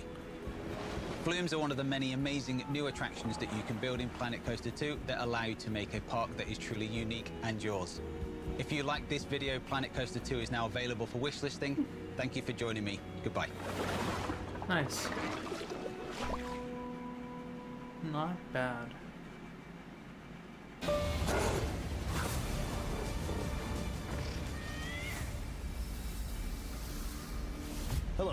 I'm Mike Laidlaw, Chief Creative Officer at Yellow Brick Games. What's this? Welcome to the world of Eternal Strands. This looks a new fantasy action adventure game where the world around you is your weapon. In Eternal Strands, you will embark on your journey as a young, Oh, magic-wielding weaver named Bryn.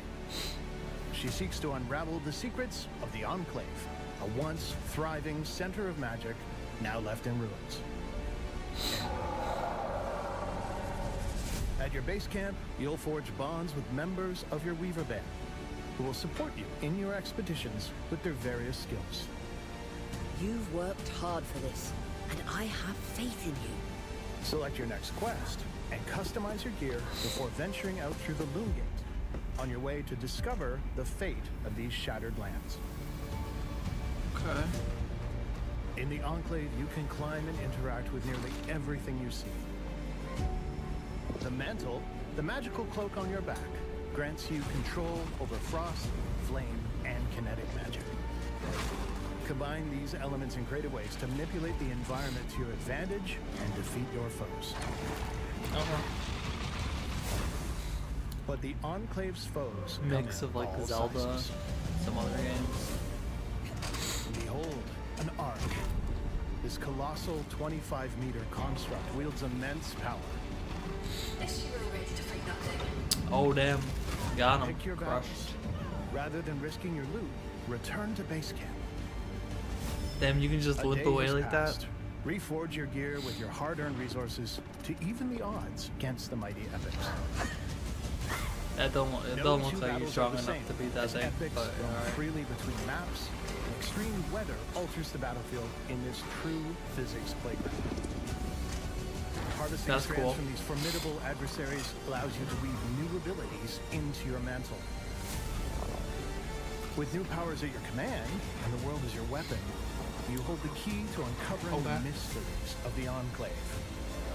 Take up the mantle in Eternal Strands. No, that that looks good. I'm gonna try that. I'm gonna try this. Coming early next year. All right. Oh, Xbox only, and I don't know if we tried that. Move your train.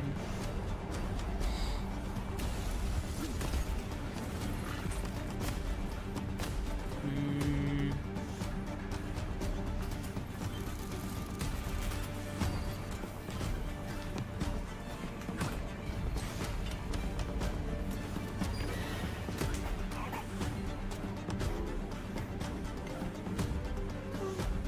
Looks alright.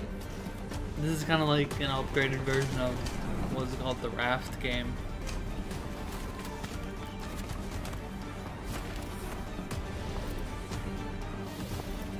That's definitely that's definitely what this is.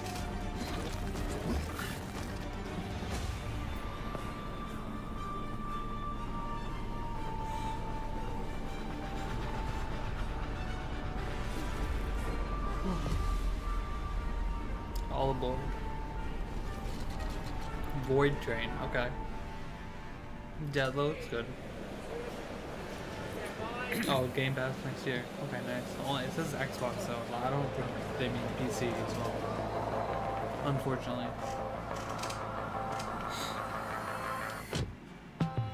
You just got a deep dive into the gameplay of Eternal Strands and Look Avoid Train, which is coming to Game Pass That was not a deep next year. dive. So That was- get ready. that But was like first, it five seems like minutes. only yesterday we were here at Gamescom enjoying the first Towerborn demo.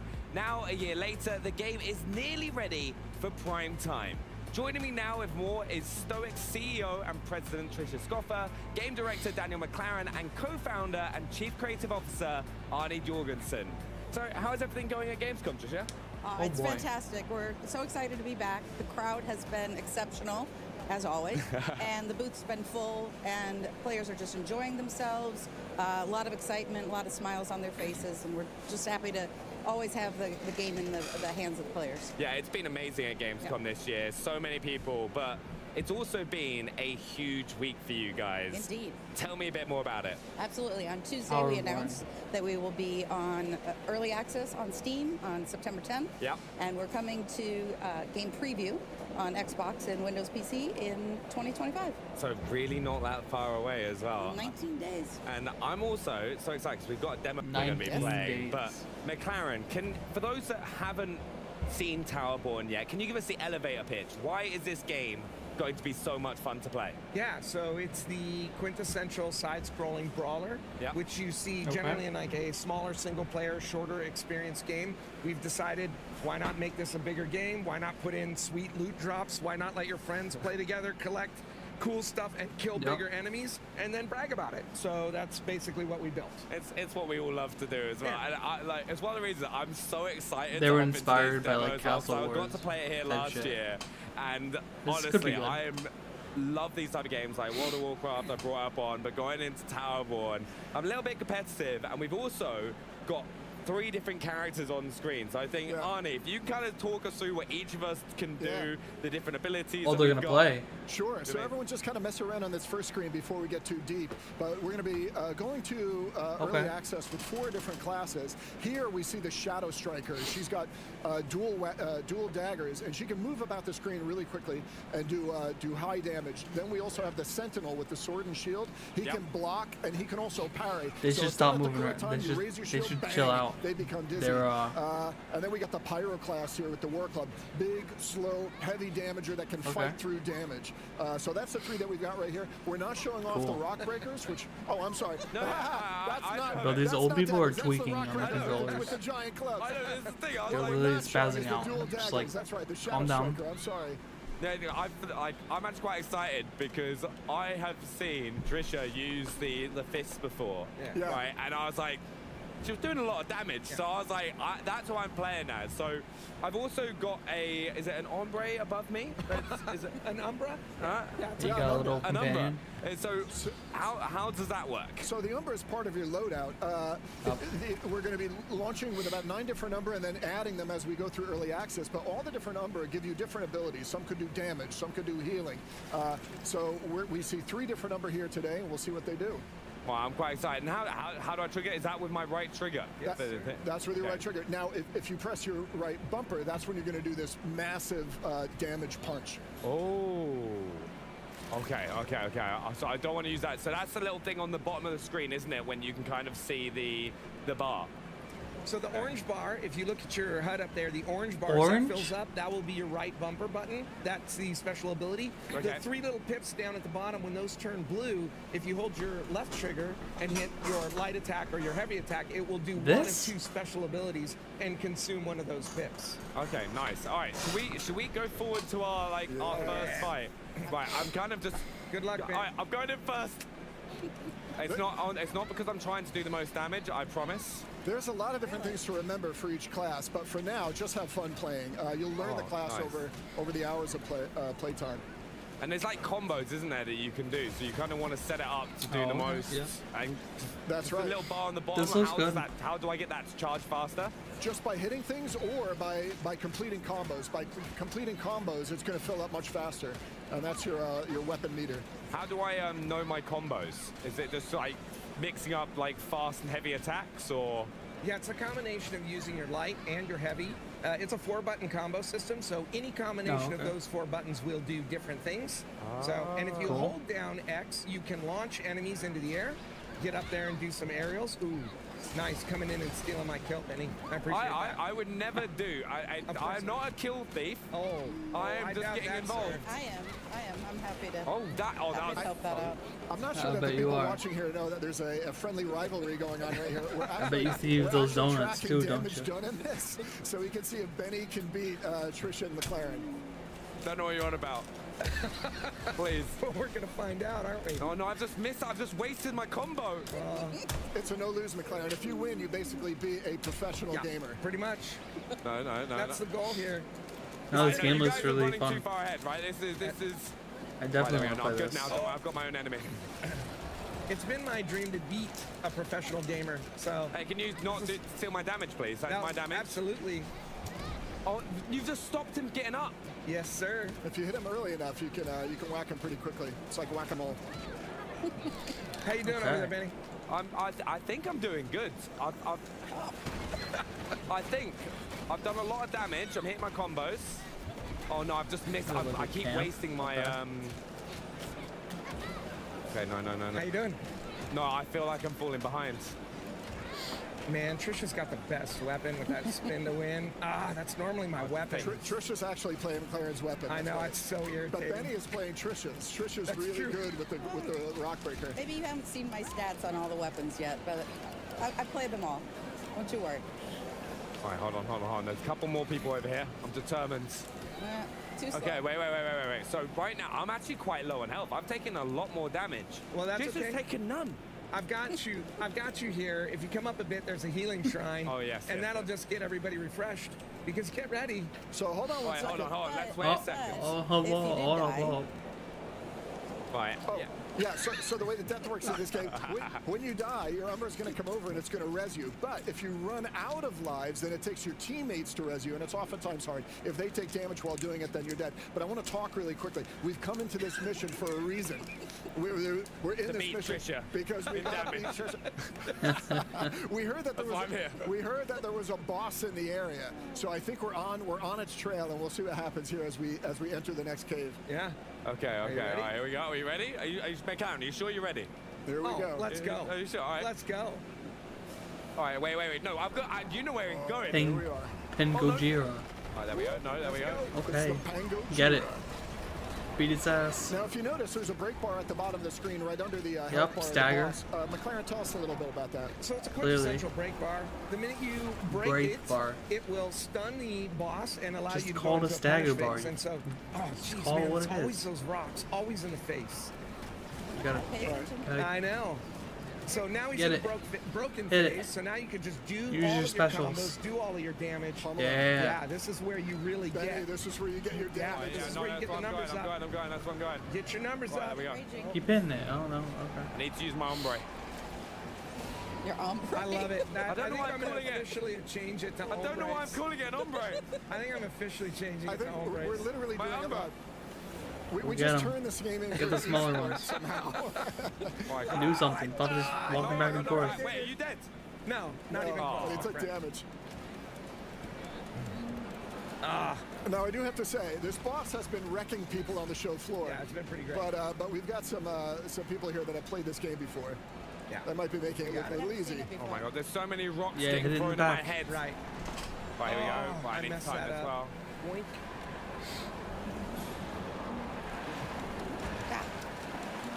All right, there we go. Uh, this Oh is no, I've just wasted. Put no, no, no, no, no.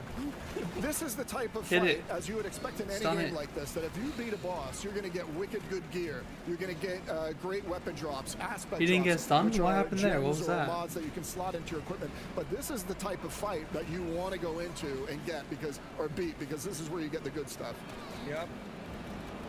Oh, I've just done. By the way, I've just done so much for us there. Did you I've really? just, I've just taken out like ten ads. Well, we're gonna Benny's carrying out. the team. He's carrying the team. Yeah, he really is. Appreciate that. I've, Yeah. I've taken the See? boss down to I- quarter life. What I found though is I apparently only get one damage for every single one of these kills. So That's I'm, true. I'm just putting it out there that I'm just doing. I'm being a I team see, player, I see. I see. Yeah. and, it, and it's not because I oh, think I'm behind on the damage curve. Oh, gee, I rolled right into it too. Okay, so you can dash through that Look shit at too. It looks First like. death, who does that belong to?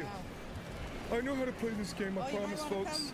I'm working on it, I'm working on it. Okay, Oh, here we go, here we go. Stun. Come on. There it is, unload. Damage. Damage. There we go, we got him, we got him. He's gonna get back up. Go go go go go go go. On this phase. That's it. Oh, Don't let him oh, yeah, let's don't let him go. Nice. All right, now the moment of Um, truth. I don't think we need to take a look All at the right. We do. I, I don't think we, you know what we, we're basing this off? Eliminations. Let me go. know, like in the chat, if we should base it Mission off review. Nice. or not. Okay. F, F in chat for Benny. I don't want to look at my stats. There we go. Here we go. I don't want to go. look. Mission stats. Oh, Okay. sorry, Enemies defeated 6 9 Let's 17. That's okay, Benny. Damage play dealt. later. Okay. Can we like? Oh, come on, I just, I know this, there's something oh. wrong. I, I defeated Nice. way more than nine enemies. Did you though? I swear I did. Did you though? Well, that's, that's, They played the game once or twice. but you know, hold on a second. So, so this right here is the combat that we're that we're showing here on the show floor, and we're really we're, we're just pushing right That's how you know who to of, kick uh, at the end of it. Towerborn, I think is, is, is really something special. But the whole game is. We an got half my damage. There's a huge map that you Fuck move out here. onto, and you explore tile by tile, just like this, and you uncover through the fog of war different areas of bosses, uh, loot chests. Uh, ventures, which are our version of dungeons. There's a ton to explore in They this didn't show the RPG. loot. And then you go back to the tower and you get your missions, you go to the forge. Uh, what, is, what is this saying for Towerborn?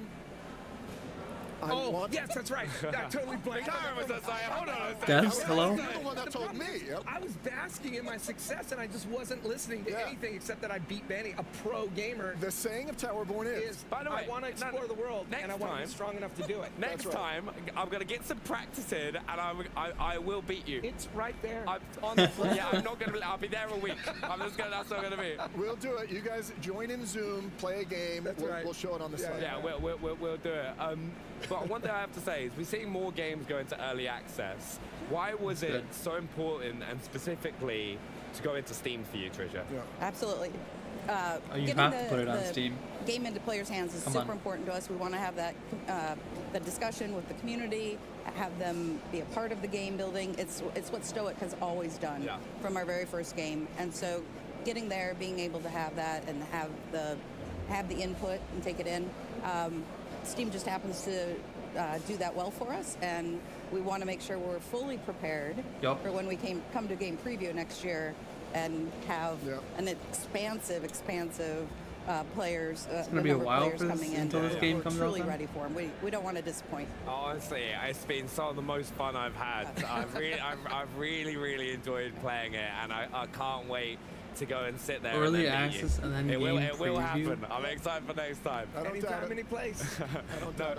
But thanks so much for stopping by. But remember, I wanna to play it. list right now at towerborn.com if you want to go and have a go yourself. Now, if that chat has you hyped for Towerborn, then you'll Towerborn. love what the team has in store. Check out a taste of a new dev diary coming soon. Towerborn is an action Okay. RPG online multiplayer game. We're going to support for many years. It's a living world. Steam Early Access is a great vehicle for us to get started. My greatest joy in this is going to be sitting here a year from now. going, I had no idea that this would go in this direction.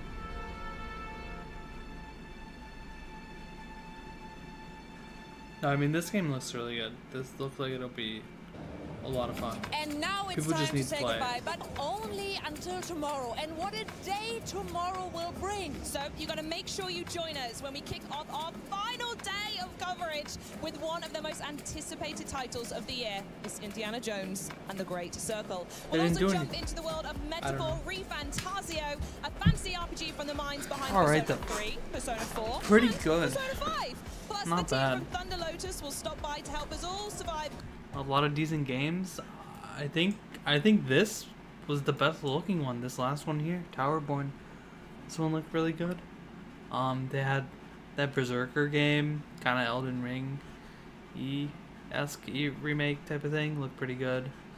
Um, the Mecha Break game, the Mac game looks really good. Wherever that is, there it is. This game looked really good. First Descendant, uh, episode one, season one, whatever they call it, looks pretty good. Uh, Elder Scrolls Gold Road looks super good. Uh, I wasn't aware that people still play it, but it, yeah, it looks it looks really good. Um. Oh, this roguelike, uh, was it redacted? This game looks really good too. Like, hopefully this is co-op. That'd be really cool. I guess, oh, or versus co-op type of thing. Um, Flight Simulator, cool. Big update. I mean, yeah, that's pretty much it for the day. Pretty good. Not bad. Oh, and then the Star Wars game at the beginning pretty much looked kind of mid. Not a lot of options. Pretty slow. Slow paced combat game. We'll see. We shall see. Overall, really good though. Really good day.